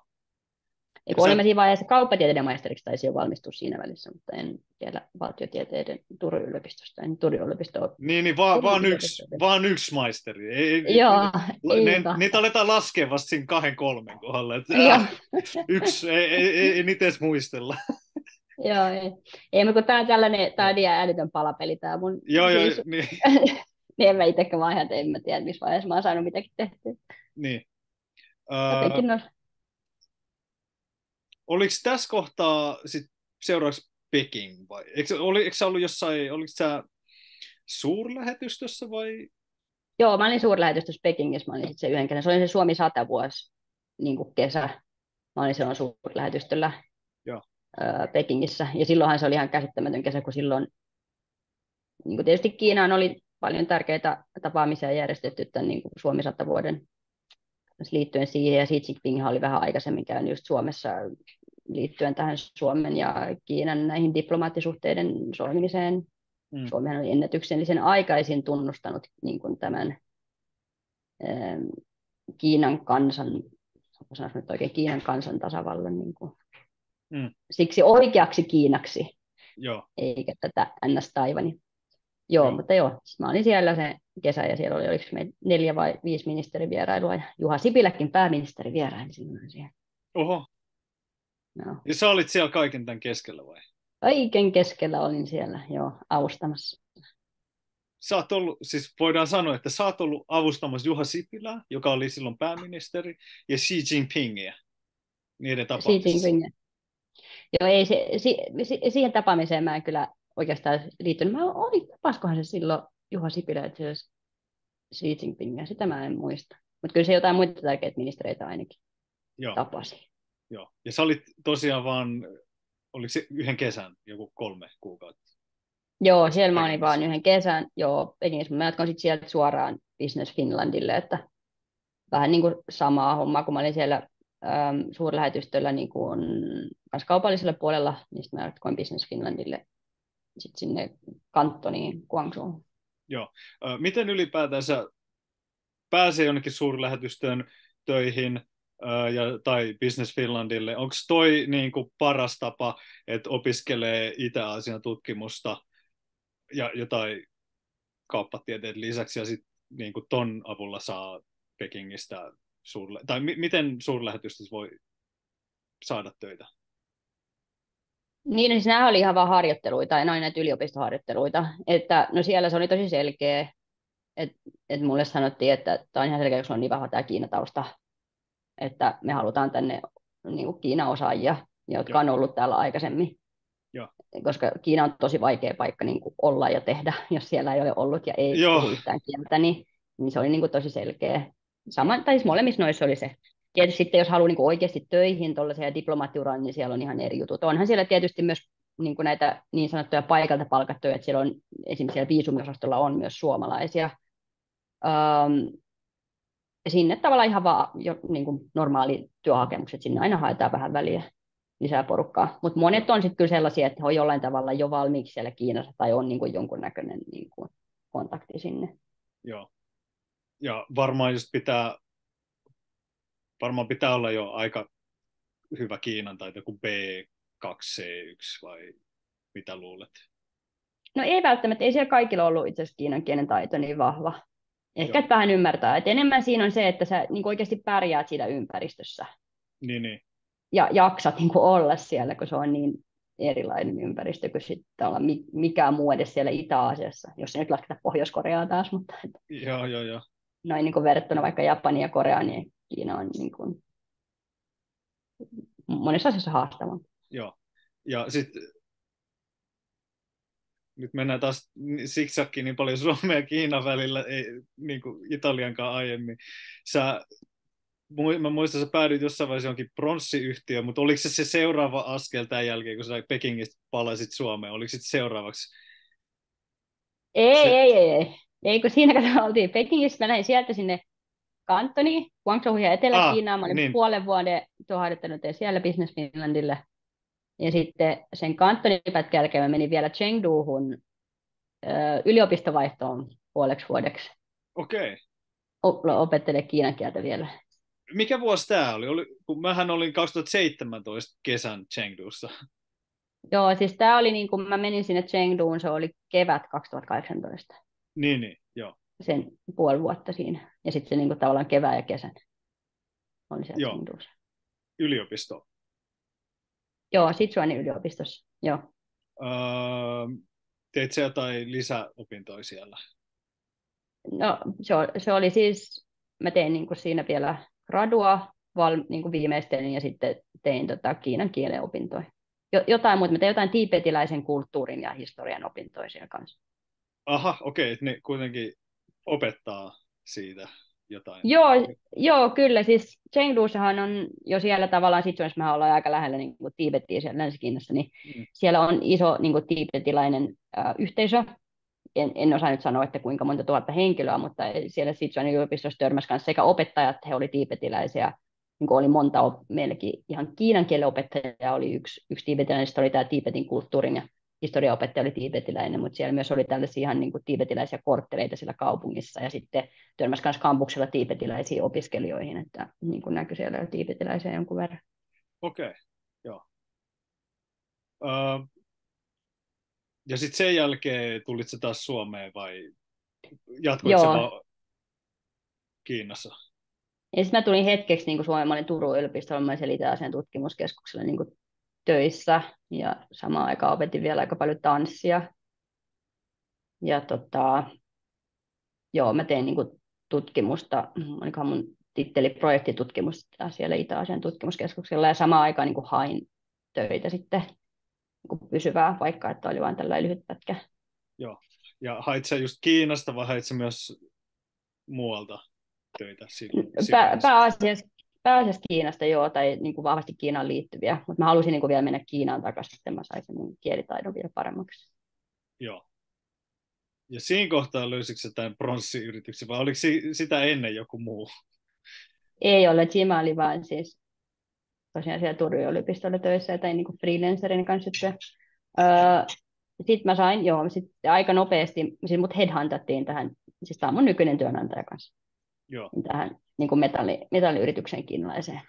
Ja sitten muutin 2019 alussa Kiinaan. Mistä ne löysi sut? LinkedInistä? LinkedInistä, joo, Niin, niin. LinkedInistä. Vai? Joo. LinkedIn ei, ei ole blokattu Kiinassa. vai onko? No, no nythän se vähän niin kuin... O, joo. Mä muistan, mikä siellä levisi taas joku kriittinen tietysti kommunistisen puolueeseen liittyvä postaus jotenkin, ja sitten kommunistinen puolue vissiin pelästyi sitä, ylläri pylläri, ja tota, sitten ne teki siitä niin kuin kiinalaisen version. Että siellä kiinalaiset niin kuin vielä pystyy ilman VPGN, siellä on jonkunnäköinen versio, mä en ole sitä koskaan käyttänyt, mutta pystyy käyttämään, ainakin siihen, että ne pystyy niin kuin jotenkin keskustelemaan suoraan ihmisten kanssa jotenkin, mutta ne ei pysty jotain postauksia näkemään, tai näin mä oon ymmärtänyt. Joo. Siellä on joku, joku oma versionsa nyt. Joo. Ja sitten tässä yrityksessä olit sitten vuoden pari ennen kuin sä muutit Saksaan. Mä olin vuoden Kiinassa. Mun piti olla pidempään, mutta sitten tuli korona, niin mä jäin niin kuin Saksaan. Joo. Aikaisemmin. Sä, sä, sä jäit Saksaan, eli sä olit, olit sä tullut jonnekin työmatkalle? Ja... Joo, mä, mä olin tullut niin kuin lomalle kiinalaisen uuden vuoden alkaan 20, 20 alussa. No. Ja sitten alkoi näyttää aika pahalta Kiinassa korona. Ja mä että no mä nyt en uskalla mennä sinne heti takaisin, että siellä alettiin just sinun sulkea kaikkia kaupunkeja ja näin. Mutta sitten kävikin niin, että jatkoi vähän pidempäänkin se koronahomma, niin tota, sitten mä jäin niin kuin Saksaan pidemmäksi. Joo. Uh, ka- kauan sä olit yhteensä sit Kiinassa, kaikki noin sun pätkät? Tuleeko siitä joku kolme-neljä vuotta? No joo, siitä tulee joku, joo, siitä tulee kolme puoli vuotta yhteensä. Joo. Mitenkäs, kuinka iso ero sä huomasit siinä kiinan kielessä, mitä ihmiset puhuu noilla eri alueilla? Ja puhuttiinko kantonissa enimmäkseen kantonin Kiinaa vai kuinka paljon mandariinia puhuttiin? No siis kantonissahan pärjää mandariinilla tosi hyvin. Ja työelämässä puhutaan vahvasti myös mandariini. Siellä on niin paljon kanssa ulkopuolelta Joo. muuttaneita. Öö, kuuleehan siellä sitä niin kuin kantonia, mutta siellä on kyllä se koulujärjestelmä selkeästi, tai se on niin, kuin niin vahvasti mandariini Kiinalla, niin kyllä siellä kaikki puhuu hyvää mandariini Kiinaa. Joo. Kantonin puolella. Sitten jos menet raja yli Hongkongiin ja Makaan, niin on ihan eri asia jo, mutta niin kuin siellä Manner, Mannerkiinen puolella kyllä puhutaan mandariini hyvin. Joo. Mut, mutta tietysti sitten aksentit vähän muuttuu ja jotkut sanonnat ja sellaiset, ja sitten niin kuin pohjoisessa Peking on sitä arhuata käytetään aika paljon. Niin, R, R, Joo, joo, joo. Si, sitä. Ja onhan Sichuanissakin, kyllä se joka paikassa on niin ne omat vahvat muuteensa, ja Sichuanissakin on vähän niin kuin, lasketaanko se omassa kielekseen vai onko se, se on se Sichuanhua, no, kai sekin lasketaan Kiinassa murteeksi vaan, mutta hyvin erilainenhan se on. Mutta sitten kaikki, kun ne, varsinkin nuoret, kun on käynyt koulunsa mandariini-Kiinan, niin he puhuu sitä standardikiinaa todella hyvin. Joo. Kun Chengduhan oli mun ainoa paikka, missä mä oon ollut Kiinassa. Tietenkin mä matkustin jonkin verran, olin Tiibetissäkin ja tälleen, mutta mä olin siinä kohtaa vaan vuoden opiskellut niin kuin kansanopistossa, ää, tai mikä työväenopisto, Kiinaa, niin mulla oli aika heikko pohja, mutta kyllä mä osasin sanoa aika moni juttuja, mutta siinä aloittelijana siellä Chengdussa se kesä oli jotenkin tosi vaikea, kun ne vastas, mä en edes ymmärtänyt, mä en ymmärtänyt yhtään mitään oikeasti melkein ikinä, kun ne vastas. Mä mietin, että, että onko Chengdus, mä oon kuullut, että Sichuanissa enemmän N, L, L ja N jotenkin ihan randomisti muuttuu toisikseen. Joo, on, ja. Mun, mun pomo, mä en osaa mitään Kiinassa sanoa esimerkkejä, mutta tulee mieleen, kun se sanoo englanniksi snow ja slow. Ihan randomisti se saattaa sanoa, vai sekoittaa ne toisiinsa, snow ja slow. Yhdessä promovideossa, minkä mä editoin, niin se, sen selostuston taustalla, niin se piti sanoa snow, mutta sitten se sanoi slow, mutta en mä, mä olin silleen, no, no taulu, en mä vitti mitään mainita siitä. Potato, potato. Joo, niin. Mutta oliko sulle niin edistyneen puhujan näkökulmasta äh, Chengdussa, Sichuanissa helppo ymmärtää ihmisiä vai onko joku alue, missä sä olit Kiinassa, oliko jossain vaikeampaa ymmärtää paikallisia? Mä jotenkin nyt niin kuin enää muista, mä en niin kuin muista, että mulla olisi ollut vaikea, sille jotenkin vaikeaa missään. Joo. Että kyllähän hekin sitten jos he ei itse niin puhu niin standardikinä. Voi olla, että joku vaikka, se on tällä kauppiaat, jotka ei ole käynyt pidemmälle kouluja, vaikka hedelmämyyjät ja tällaiset, mm. niin he voi olla, että he puhuu vaan sitä niin kuin paikallista murretta. Mutta kyllä me pystyttiin silti kommunikoimaan, että kyllä sitä tuli niin kuin ymmärretyksi. Ja sitten sehän ei ole sellaista montaa sanaa, kun sä siinä vähän tingit hinnasta tai Joo. heität vähän niin. rämpylöitä heille, niin kyllä se... Mutta joo, kyllä se, se, se, kyllä se Sichuanin murre on hyvin voimakas ja sitä ei, ei kyllä niin kuin, ymmärrä. Tai jotenkin jotenkin alkoi taas tietysti nappaa sellaisia fraaseja, kyllä se korva niin kuin alkaa tottumaan. Ja samahan näissä Kiinassa muuallekin sitten niin Puossaarin kanssa sellainen, niin Pohua on todella erilainen kuin mandariini Kiina, sekin voitaisiin laskea omaksi kielekseen. Ja. Nansingissakin on oma murteensa, ja kantonissa tietysti on ihan eri kieli sitten kantonin Kiina. Niin, niin, joo. Nyt tuli mieleen muutama äh, helppo sana, niin kuin tuo, tämä, tämä tuo ne, neiga tai naga, niin muistan, että sanoiko ne just le, leiga, lega, laga, laga, niin kuin L-llä. Saattaa Mut, sanoa, mä en jotenkin muista. Joo. Niin selkeästi. Joo, mutta mut noin mä nyt vielä ymmärsin, tajusin, että joo joo, että tällä on ennen. Mutta sitten kun oli jotain vaikeampia sanoa, niin mä, mä olin että mä en ymmärrä mitään. Yeah. Joo, mutta sitten uh, sä, jäit, sä jäit sitten koronan aikaa Saksaan. Joo. Ja sä oot vielä siellä. edelleen. Joo. Joo. Siellä olen töissä Frankfurtissa. Onko se vaihtanut tässä välissä työpaikkaa vai tämä on se sama metalliyritys? Sama metalliyritys, kyllä. Joo. Uh, miten Saksassa? Mites, uh, oliko se Frankfurtissa vai Frankfurtin lähellä, missä sä asut? Ja, ihan Frankfurtissa, joo. joo. Frankfurt am Main. Joo.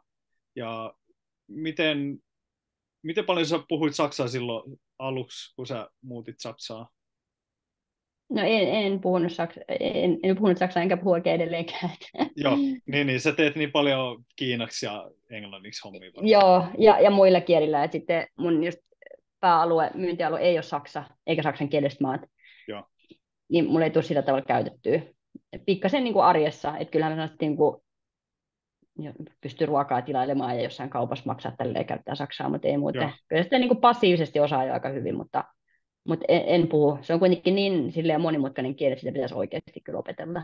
Että ei se niin vaan tartu muuten kuin just näitä tällaisia helppoja fraaseja, mitä käyttää päivittäin. Joo, joo. Uh, ja miten sä näet tulevaisuuden suunnitelma tällä hetkellä? Onko mitään vai ihan päivä kerrallaan? Päivä kerrallaan. Joo. Yritetään selvitä kapitalismin kourissa. Niin. en tiedä. Mulla on nyt siis mun partnerini niin puolisoni on tota, kanssa siellä Frankfurtissa ja kanssa vähän molemmat, molemmat vähän siellä jumissa tai silleen, että ei ole niin, niin helppo, helppo muuttaa. Hän on, tota, hän on siis intialainen ja rahoitusalalla, niin tällä hetkellä se Frankfurt on niin kuin hänelle helpoin vaihtoehto niin, niin. olla. Kajani ei houkuttele. Ei ihan houkuttele, joo. Hän oli just täällä Suomessa. Sitten mä yritin vähän niin kuin, että mitä se olisi tänne. niin. käytiin, käytiin sellaisissa maailmanmestoissa, maailman metropoleissa, kuten Outokumpu ja Oi, Reposaari. Pohjois-Karjala. Joo, Outokummussa ja, ja Boris. Käytiin Reposaarissa. Joo. Sitten että täällä olisi ihmisen hyvä olla. Ei tarvitse kauheasti tehdä. Niin ei tarvitse murehtia maailman murheista. Näistä, että ei, ei, kyllä hän tarvitsee enemmän ihmisiä ympärille näin intialaisena. niin, niin, niin. Joo, ehkä niin, asteittain, pikkuhiljaa, pikkuhiljaa. Niin. Varmaan joku Helsinkikin on silleen ihan tuppukylältä tuntuu. Kun... Varmaan, joo. Tota, hän on Delhissä opiskellut ja oli niin kuin Mumbaissa töissä ennen kuin muutti tätä. No niin, sehän, sehän on varmaan sitten meille, hänelle Helsinki on varmaan niin kuin meille niin kuin joku nuorgamutsjoki. Se niin. suunnilleen tuntuu samalta yhtä pieneltä. Jep. Joo.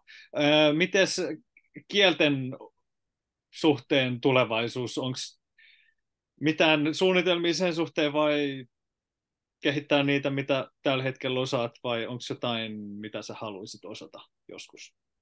Niin, no tämä nykyinen paletti on jo silleen, kun tässä on, jos lasketaan niin kuin Saksa mukaan, mitä tässä on? Suomi, Englanti, Ruotsi, Ranska, Espanja, Italia, Kiina, Saksa, menikö näin nyt oikein? On kahdeksan kieltä tässä. Joo.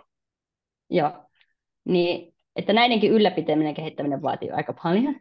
Joo. Että, että meinaa, aina kun joku toinen kehittyy, niin meinaa unohtaa. Varsinkin tämän Kiinan kanssa, kun tämä on niin, niin eri maailmasta. Tietysti Suomikin on ihan eri maailmasta kuin nämä muut eurooppalaiset kielet, mutta mut Kiina on jotenkin se on vielä, niin kuin, sit, kun se on se kirjoitusjärjestelmä niin eri ja, ja sitten se niin kuin intonaatiot ja nämä kaikki, niin se on myös sellainen ikuinen suo. Että se on kyllä sellainen, että sitä opetellessa menee varmasti loppuelämä. Ja, Ää, ja sitten nyt tätä Saksaa pitäisi kyllä oikeasti alkaa päntätä, että se on sellainen. Ja sitten se ero varmaan, mikä, mikä olisi, niin olisi toi tuota, puolisoni äidinkieli, eli hindiä voisi sitten alkaa, että se olisi ehkä sellainen, mikä motivoisi. joo, joo. Sitten siinä on aika hyvä semmoinen paletti kasassa sitten Joo, joo kyllä. lop, Jos mä. Kyllä, mä, jos mä tuohon vielä ottaisin, niin mä ottaisin jonkun slaavilaisen kielen, varmaan ottaisin tota Venäjän siihen vielä sit mukaan. Niin. Ja Joo. ehkä arab, arabiaisella, mikä mua kanssa kiinnostaisi. Sitten Niin, niin, niin. niin. Kuin, sitten olisi aika täydellistä. Sitten, vois, sitten voisit yksi pyörittää tai teidän yrityksen ulkomaankauppaa. Niin, kyllä.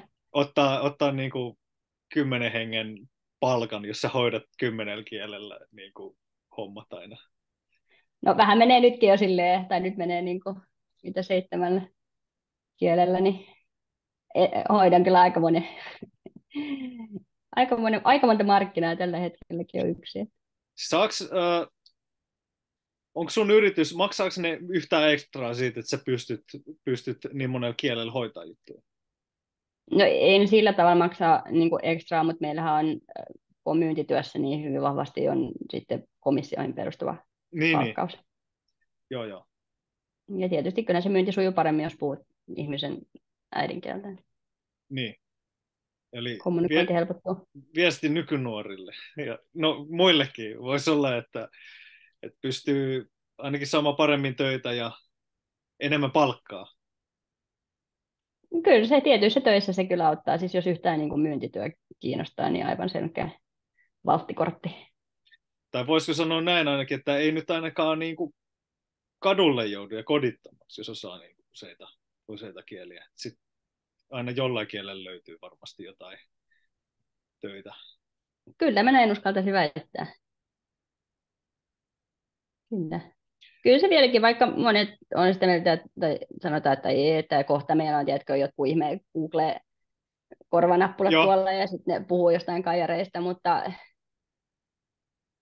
ja vaikka tietysti nykyäänkin Google Translate pystyy kääntämään sitä niin kirjoitettua kieltä, mutta ei se ole sama homma kuin jos se tavallaan, kyllä se ihmiskontakti on edelleen niin kuin tärkeää. Et Niin, kyllä se miten- huomaa, että se, se lisää sitä luottamusta niin paljon, että se, puhuu- jos sä puhut toisen ihmisen äidinkieltä. Niin, niin, jos sä oot neuvottelu, sit se ha, hajoaa yhtäkkiä. Jos, tai nettiyhteys katkee tai no okei, vaikka se toimisi ilman nettiyhteyttäkin, niin se voi aina hajota. Mitä sä sitten teet? Sitten se on silleen, että no, mitäs nyt? Niin, kyllä. Ja varmaan, miten hyvin noi pystyy sitten jotain tapoja ja kulttuuria opettaa, kun Itä-Aasiassa on niin eri ja arabimaissa aivan eri kulttuuri, että miten niin kuin edes hoidetaan jotain bisnestä tai ylipäätänsä toimitaan ihmisten kanssa. Mm. Niin varmaan senkin takia tärkeä osata. Niin on, se on niin jotenkin se kieli ja kulttuuri, ne on niin, kuin niin sidonnaisia toisiinsa, että kyllä se on niin kuin vähän välttämätöntä, että se oikeasti jos sä pääset, että pääsee syvälle jossain kielessä, niin sun on myös niin kuin ymmärrettävä sitä kulttuuria. Tai, tai se tulee vähän niin kuin siinä sivutuotteena kanssa, että kyllä ne tietyt sanonnat ja tavat sanoa ja puhua, niin kuin ne on hyvin sidoksissa siihen niin kuin kulttuuriin. Mitkä on kiinan kielessä ollut vaikeimpia juttuja sulle? Suomenkielisenä ehkä voidaan sanoa näin, että onko siinä semmoisia, mitkä on just erityisesti suomenkielisenä, tai sulle henkilökohtaisesti vaan jotain vaikeita elementtejä siinä kielessä? Mä luulen, että tämä on vähän sama kaikille niin kuin eurooppalaisia kieliä niin kuin äidinkielenä puhuville, että kyllä se on se, se tooni, ne toonit, että kun ei, ei meillä ole sitä, että sitten se sanan merkitys niin täysin muuttuu, jos menee väärä tooni, että se lausuminen on niin kuin kaikki kaikessa, ne toonit on todella tärkeitä. Ja se on sellainen, että, että tulee kyllä jatkuvasti vieläkin virheitä, että enhän mä niin kuin ihan puhtaasti pysty vieläkään lausumaan. Onko mitään hauskoja toonivirheitä, mihin liittyy tarinoita? No on niitä ja varmaan tulee koko ajan. Ja välillä ei varmaan itse niin kuin Huomaa vai? huomaa. Joo, no joku oli myös sellainen, että me oltiin sanottu meidän Kiina opettaja sulle ekana vuonna jotenkin, miten mä otin laussin laos, laos, vai laos. No jotenkin, että se toka tooni meni niin kuin väärin, ja siitä, siitä tulee, että vanha kakka. Mikä? Vanha? Vanha kakka. Vanha kakka? Joo, eikä opettaja siitä sanottu.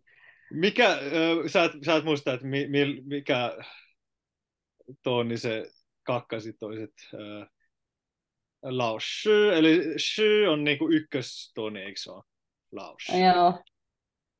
Mä en muista, mun pitäisi ihan katsoa. Joo. Mutta joo, kuitenkin. Et me oltiin sitten melkein vuosi, jonka kerta kutsuttu opettaja vanhoiksi kakaksi. Te ette mitään huomannut sen naamasta, se on aina vähän silleen, että reagoi, kun te kutsutte sitä vanhaksi kakaksi. Ei, kun sitä, sit siinä joku, joku tunti, se oli silloin ihan loppuvaihe, sitten se oli silleen, tai sitten kun me alettiin oppimaan paremmin, varmaan se niin kuin aikaisemmin oli, että hän, ei, niin kuin, että hän haluaa kannustaa, Joo. se oli se loppuvuodessa silleen, kun oltiin vuo, melkein vuosi painettu, se että hei, niin. nyt voisitte vähän tarkkailla tätä tonia. Joo. Tälle vuoden jälkeen olisi kiva, että te ette niin kuin kutsu mua enää vanhaksi kakaksi, vaan opettajaksi, kiitos. Niin, kyllä, joo. Joo, tuo, tuo, oli, tuo oli aika, aika hyvä tarina. Joo, tuli opettajalle raja vastaan. Mutta on, on noita muita. Ja nykyisinkin tulee, siis mä huomaan että Kiinassa välillä, jos mä sanon jonkun sanan niin kuin vähän väärin, mutta kun mä en tiedä, kun tietysti on niin paljon sanoja, ja ne, sitten alkaa vähän nauraa, että mitäköhän mä tälläkin kertaa sanon. Joo. mites, mites kirjoittamisen kanssa? No mä en osaa käsin enää kirjoittaa. Silloin kun opiskeli yliopistossa Kiinaan, niin silloinhan osasi vielä, piti kokeisiin aina osata käsin kirjoittaa, mutta nykyään tota, kaikki menee koneella, niin koneellahan mä osaan kirjoittaa ja lukea ongelmitta, mutta sitten jos laitat mulle paperi eteen ja pyydät kirjoittaa, niin en mä montaa sanaa osaa niin ulkomuistista käsin kirjoittaa. Joo. Onko se, että sä et muista sitä järjestystä vai ylipäätään sä et vaan osaa niin kuin tyhjästä silleen, sit ka- kaikki niitä juttuja? Joo, se, joo, ei kun sit siihen ei, ei ole tullut sellaista harjaantuneisuutta, että sehän melkein, se pitäisi tulla niin kuin melkein lihasmuistista, ja lihasmuistihan sä et saa ilman niin kuin tuhansia toistoja. Joo. Et vaikka muistaa, miltä se suunnilleen niin näyttää, että sen tunnistaa, mutta se on niin eri asia, sit kun sä et kirjoittaa, että ei hitsi, että tuliko toi nyt niin kuin mm. Tonne päälle vai toi pilkku tonne vasemmalle vai niin. oliko tästä tuota pilkkuu vai ei.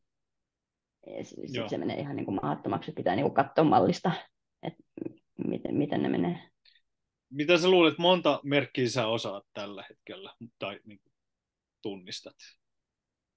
No mä oon tällä hetkellä HSK 6-tasolla.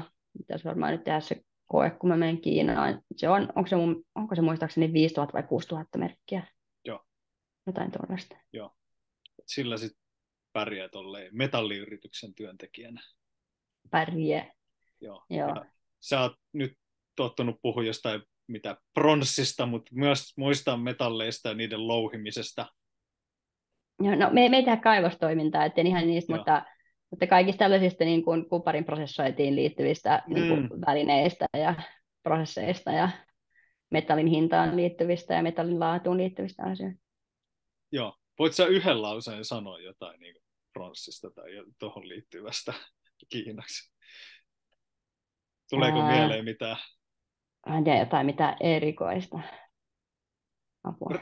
Riittää ihan joku peruslause, jotain, mitä se... Okay.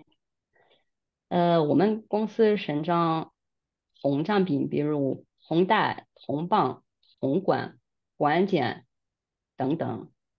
呃，我们是中国 第一名铜加工工厂。呃, jotain te työskentelette, sitten se varmaan mainitsit sä jotain mineraalien nimiä vai? Ei kun mä vaan eri tuotteita, mitä me valmistetaan. Ah, tuotte. Ja sitten uh, te olette Kiinan numero, oliko se, sanoit TI, ensi, y, y, niin kuin numero yksi? Joo. Tai en... Ykkönen niin kuparin prosessoinnissa. Ah, okei. Okay. Joo, muutama sana mä tunnistin, mutta sitten lopulla Joo, t- mulla, mulla on vielä pieni työmaa tässä edessä, mutta mä, mä tuun täältä. Mä tuun täältä hitaasti, mutta varmasti. Ehkä kymmenen vuoden päästä, no sanot, katsotaan 5-10 vuotta, niin ehkä mä pystyn liittyä tähän keskusteluun puhumaan niin kuin kuparin ja muiden prosessoinneista. Hyvä. Sitten otetaan uusiksi. podcast si- kiinaksi. Joo, siis mun, mun idea on, että mä tekisin tätä podcastia kaiken kielin, mitä mä osaan tarpeeksi pystyy ymmärtämään. Ja sitten jos mä itse vastaan, niin ei ole... Mulla on, mä tein esimerkiksi mun vaimon kanssa venäjäksi, vaikka se ei ole mikään kaikkein vahvi. Mä, mä kyllä kysyin monta kertaa, että hei, miten mä jonkun yhden yksittäisen sanan, mutta se, se oli kuitenkin keskustelu, eikä sille, että, että mä olisin koko ajan kysellyt. Mutta ainakin tuolla tasolla, että pystyy niinku keskustelemaan, ymmärtämään, mitä toinen vastaa, ja sitten ehkä yksittäisiä sanoja voi kysellä, ei, mikä tämä nyt oli. Uh, mutta joo, Kiina olisi tarkoitus joskus lisätä, mutta siinä varmaan menee nyt sanotaan ensi vuosikymmenellä toivottavasti viimeistään. Joo, siinä voi mennä aikaa. Voin kyllä näin kokemuksen syvällä rintaäänellä sanoa, että se ei ihan niin helpolla tule. Joo. Uh, mulla on muutama viimeinen kysymys, mutta ennen sitä mä ehkä kysyn vielä liittyen kielten opiskeluun. Onko Kiinan lisäksi ollut muita kieliä, jotka on ollut vaikeita vai? Tai sitten myös, että mitkä on ollut helppoja kieliä? No mulle Italia tietysti tuli tosi helposti, kun osas Ranskaa ja Espanjaa. Niin se tuntui, että se tuli jotenkin liiankin helposti. Mutta tietysti se on ihan loogista, kun Espanja on niin, kuin niin lähellä. Joo.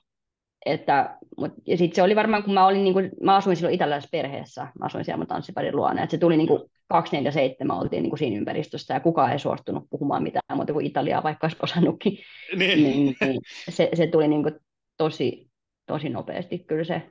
Mutta mä edelleen mä teen siis Italiassa italialaisten kanssa niin kuin italiaksi kauppaa, mutta sitten mulla on se ongelma, että kun mä oon oppinut sen kuululta ja puhutulta, niin sitten mä en oikein osaa niin kuin kirjoittaa ilman apuja. Mä joudun aina tarkastaa, että minä tämä nyt kirjoitettiinkaan tämä sana. Ja jotenkin. Ja sitten kielioppi on vähän niin ja näin. Joo. Joo, mulla Italian kanssa vähän sama varsinkin sen, onko se preteriti.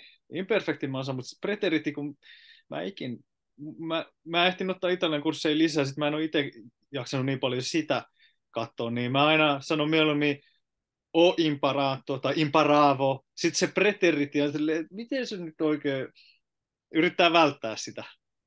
Mm. Okei, okay, mulla, on, mulla on vielä kaksi tämmöistä äh, tämmöistä mielenkiintoista kysymystä. Äh, eka on, nämä on tämmöisiä teoreettisia tilanteita. Jos sulla olisi okay. pullon, pullon henki, ja se antaa sulle kaksi mahdollisuutta josta sun pitäisi valita. Eka olisi se, että sä osaat kymmentä maailman puhutuinta kieltä niin kuin puhujamäärän mukaan täydellisesti. Sä, sä, sä menettäisit silloin samalla kaikki muut, jotka on näiden kymmenen ulkopuolella. Sä et osaisi mitään muuta kuin näitä kymmentä isointa. Vai tuhatta maailman pienintä, ja maailmassa on noin 7000 kieltä.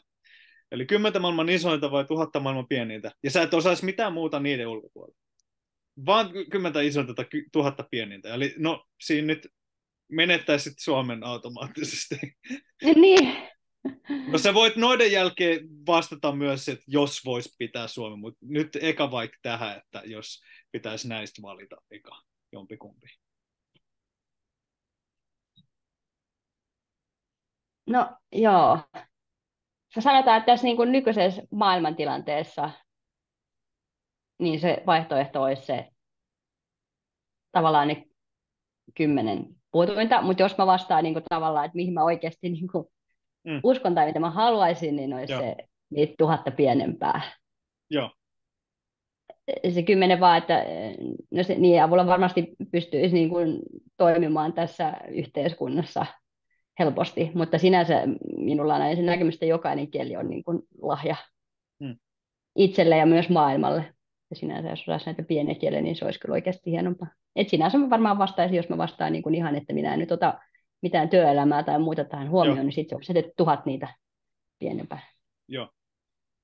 Ja jopa ilman, jopa jos sä menettäisit vaikka suomen kieleen ja noin muut, siinäkin tilanteessa. Jos, niin, niin, vai, vai onko se eri tilanne, jos sä saat vaikka esimerkiksi pitää Suomen, tai esimerkiksi kaikki, mitä sä osaat nyt valmiiksi? Muuttaisiko se sun vastausta? Niin jos mä pitää kaikki, mitä mä nyt osaisin, niin sitten se olisi tietysti ne tuhat pienempää. Joo, joo, että silloin se olisi paljon helpompi valinta. Niin, kyllä. Mutta sitten se oma äidinkielen menetys on kyllä aika kova paikka. Kun ja sitten, ja sitten jos ei pysty, sitten on niin kuitenkin se aika pieniä yhteisöjä varmasti, ja monethan näistä niin kuin kielistä on just alkuperäiskansojen puhumia näistä pienistä Joo. kielistä. Et, et sitten mä en pystyisi kommunikoimaan muuten kuin alkuperäiskansojen kanssa, mikä olisi todella hienoa. Se olisi aivan mahtavaa, mutta mä en tiedä, miten helposti mut otettaisiin niihin yhteisöihin mukaan, mm. ja miten mä pystyn siellä toimimaan, että haasteellista. Niin. Joihinkin varmaan vähän paremmin, joihinkin vähän huonommin. Niin, jos päätyisi jonnekin lihansyöjä. Mut, tai siis ihmis, ihmissyöjä yhteisöön. Joo. Uh, mä mietin, että oliko mikään saamenkielistä tuhannen pienimmän. Ja se ei välttämättä, koska Inari ja Kolttasaamella on molemmilla joku kolme, neljäsataa. Mä en tiedä, pääseekö sillä niin kuin pienimmän tuhannen joukkoon, koska siellä on, ne on tosi pieniä. Ne, mä en tiedä se tuhanneksi, tuhannenneksi pienin, että kuinka paljon. Mutta ne ekat parisataa, että mä luulen, että niillä on 1-10 aika monella niitä puhujia. Mutta se olisi varmaan aika mielenkiintoinen tilanne, että monet, kun mä sanoisin, että niitä on kymmeniä, ehkä jopa satoi kieli, joilla on enää yksi tai kaksi jäljellä, niin mm. aika moni ilahtuisi varmasti, että sitten tulee tuommoinen suomalainen jostain keskelle jotain sademetsää tai en mä tiedä minne, tundraa tai jotain, joka osaa täydellisesti sitä hänen kieltä, niin mä luulen, että se tuossa tulisi aika hyviäkin kohtaamisia. Niin, voisi tulla kyllä. Sitten on se kahden, kahden ihmisen yhteisö siinä. Sitten surtaisi sitä meidän kuolevaa kieltä yhdessä. Ei teidän tarvitse surta, voitte niinku taltioida sen ja jakaa sitä ja silleen, että tehdä juttuja, että, se, että ihmiset voi oppia sen sitä kieltä myös. Niin, totta. Se voisit loppuelämässä tehdä tuommoista niin kuin kielen säilyttämistyötä. Niin, kyllä, ja varmasti tekisinkin. Sehän Joo. tehdään, se on todella hienoa. Arvostan Joo. kyllä todella ihmisiä, jotka sitä tekee. Joo, muakin kyllä kiehtoisi kovasti elää tuommoinen elämä, että se olisi niin kuin automaattisesti tuhat pienintä. Se olisi, siinä, on, siinä on niin monta, vaikka siellä tulisi sanotaan niin kuin 500 500 yhteisöä, jotka on silleen, että lähde helvettiin, et, et, e, et ole tervetullut. Siinä on kuitenkin 500, jotka, jos ne ottaisit avosyliin ja ottaisi vastaan sut siihen yhteisöön, niin siinä on, se olisi aika mielenkiintoinen elämä, mitä sitten voisi elää ja loppuelämä just silleen taltioida sitä kieltä ja tehdä niistä kirjalliset versiot ja kaikki. Kun sä osasit, osasit ihan täydellisesti sitä, niin se olisi se tietotapa olisi paljon mielenkiintoisempi munkin mielestä, kun sit osata niitä kymmentä isointa, mikä on ehkä sille ta- taloudellisessa mielessä semmoinen varmempi. Niin, kyllä. Mutta ei välttämättä, koska jos miettii niitä pienimpiä, niin kyllähän niitä rahastoi on e- Unescon tai joidenkin Euroopan unionin just eri kielten niin kuin kielimateriaalin luomiseen ja tämmöiseen, niin voi olla, että siinä voi olla, että se olisi jopa aika tasoissa. Niin, toisaalta. Ja sitten jos miettii, että siellä on hirveästi niin kuin tietoa, jos puhutaan niin tällaisesta alkuperäiskansoista ja asetukset, ja varsinkin just tällaiset luonnon kanssa elämisen, ja tällä hetkellä, niin kun ollaan tässä ilmastokriisissä, niin siellä on varmasti sellaista todella tärkeää tietoa myös, että miten voidaan oikeasti elää jotenkin järkevästi tällä planeetalla, niin ehkä tässä maailmantilanteessa se voisikin olla niin kuin todellinen sellainen, tai todella tarpeellista.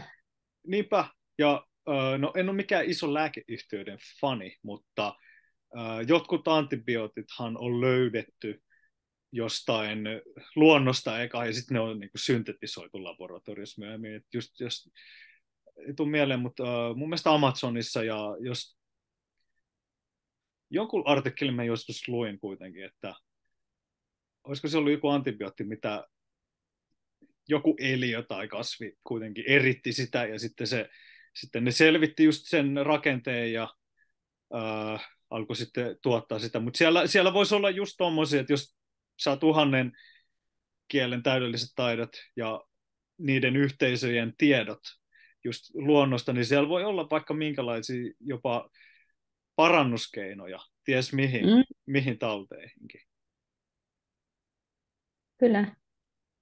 Joo, sitten mulla on viimeinen kysymys, joka on vähän samantyyppinen, että jos sä saisit taas valita tältä pullohengeltä, puhuisit sä, puhuisit sä kaikkia kieliä, sä ymmärtäisit ja puhuisit kaikkia maailman kieliä, myös kuolleita, mutta sä et osaisi lukea ja kirjoittaa, sä et vaan ymmärtäisi, sä et vaan, sä et vaan osaa. Vai sitten sä osaat lukea ja kirjoittaa kaikkia kieliä, jopa kuolleita. Uh, niin kun sä osaat lukea ja kirjoittaa, ja sitten sä myös sä ymmärrät, kun sulle puhutaan, mutta sä et vaan osaa puhua, sä et, sä et vaan kykene siihen.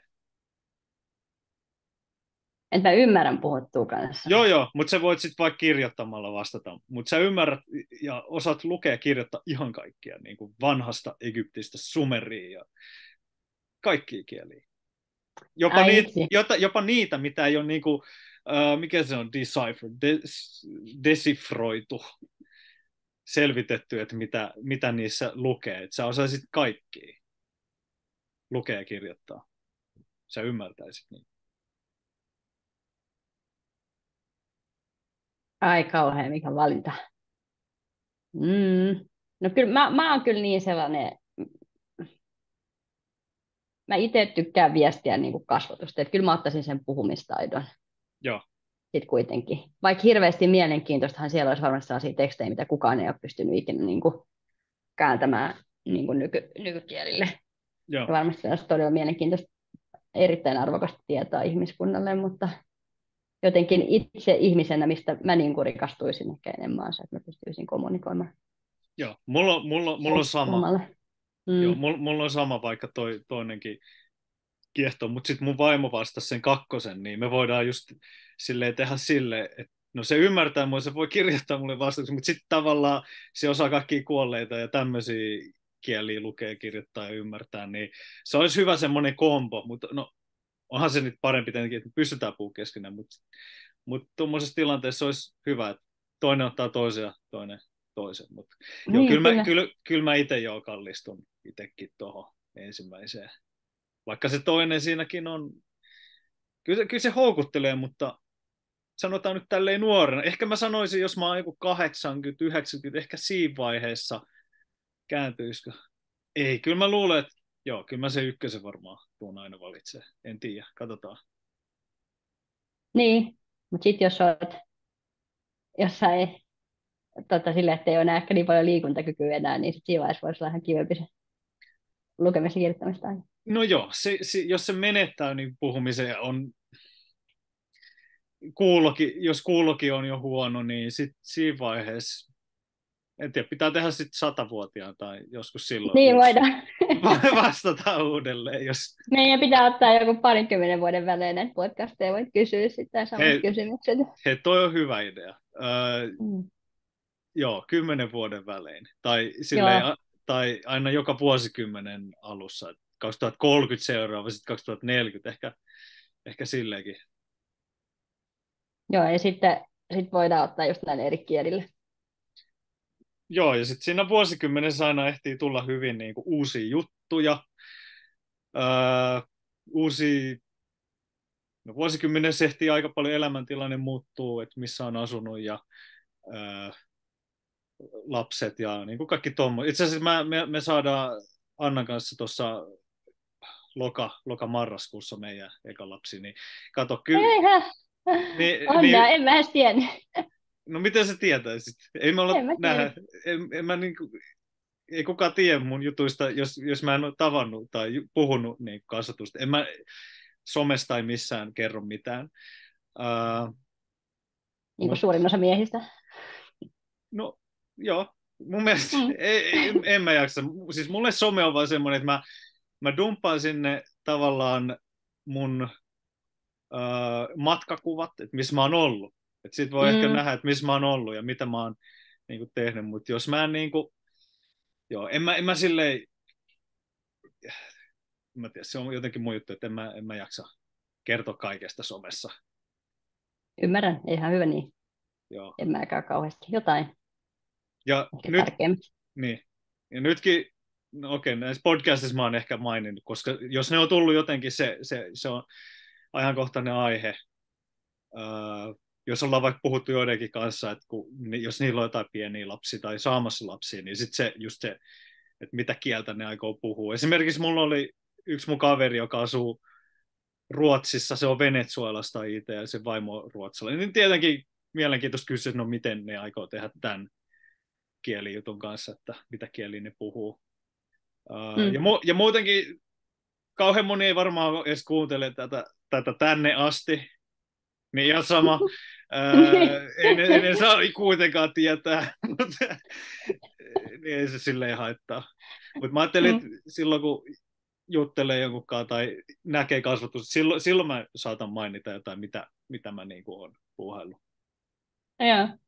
Mutta joo, ens, ka, niin kuin mietittiin niitä seuraavia jaksoja, niin 2030 tai jos tämä on 10 vuoden päästä, 2033, niin siinä vaiheessa on aika paljon muuttunut tästä jaksosta, että siinä vaiheessa on jo, meidän, meidänkin poika on jo seitsemänvuotias tai kymmenenvuotias tai en mä tiedä kuinka monta lasta meillä siinä vaiheessa on. Ja mä en tiedä, että aiot sä hankkia edes lapsia, mutta ei tiedä, onko sullakin siinä vaiheessa, niin si, si, siinähän on sitten ihan aika paljon niin kuin, juteltavaa aina kerran vuosikymmenestä tekee uuden, uuden jakson. No toivo, toivottavasti. Toivottavasti Ko- ei ole ihan jumahdettu.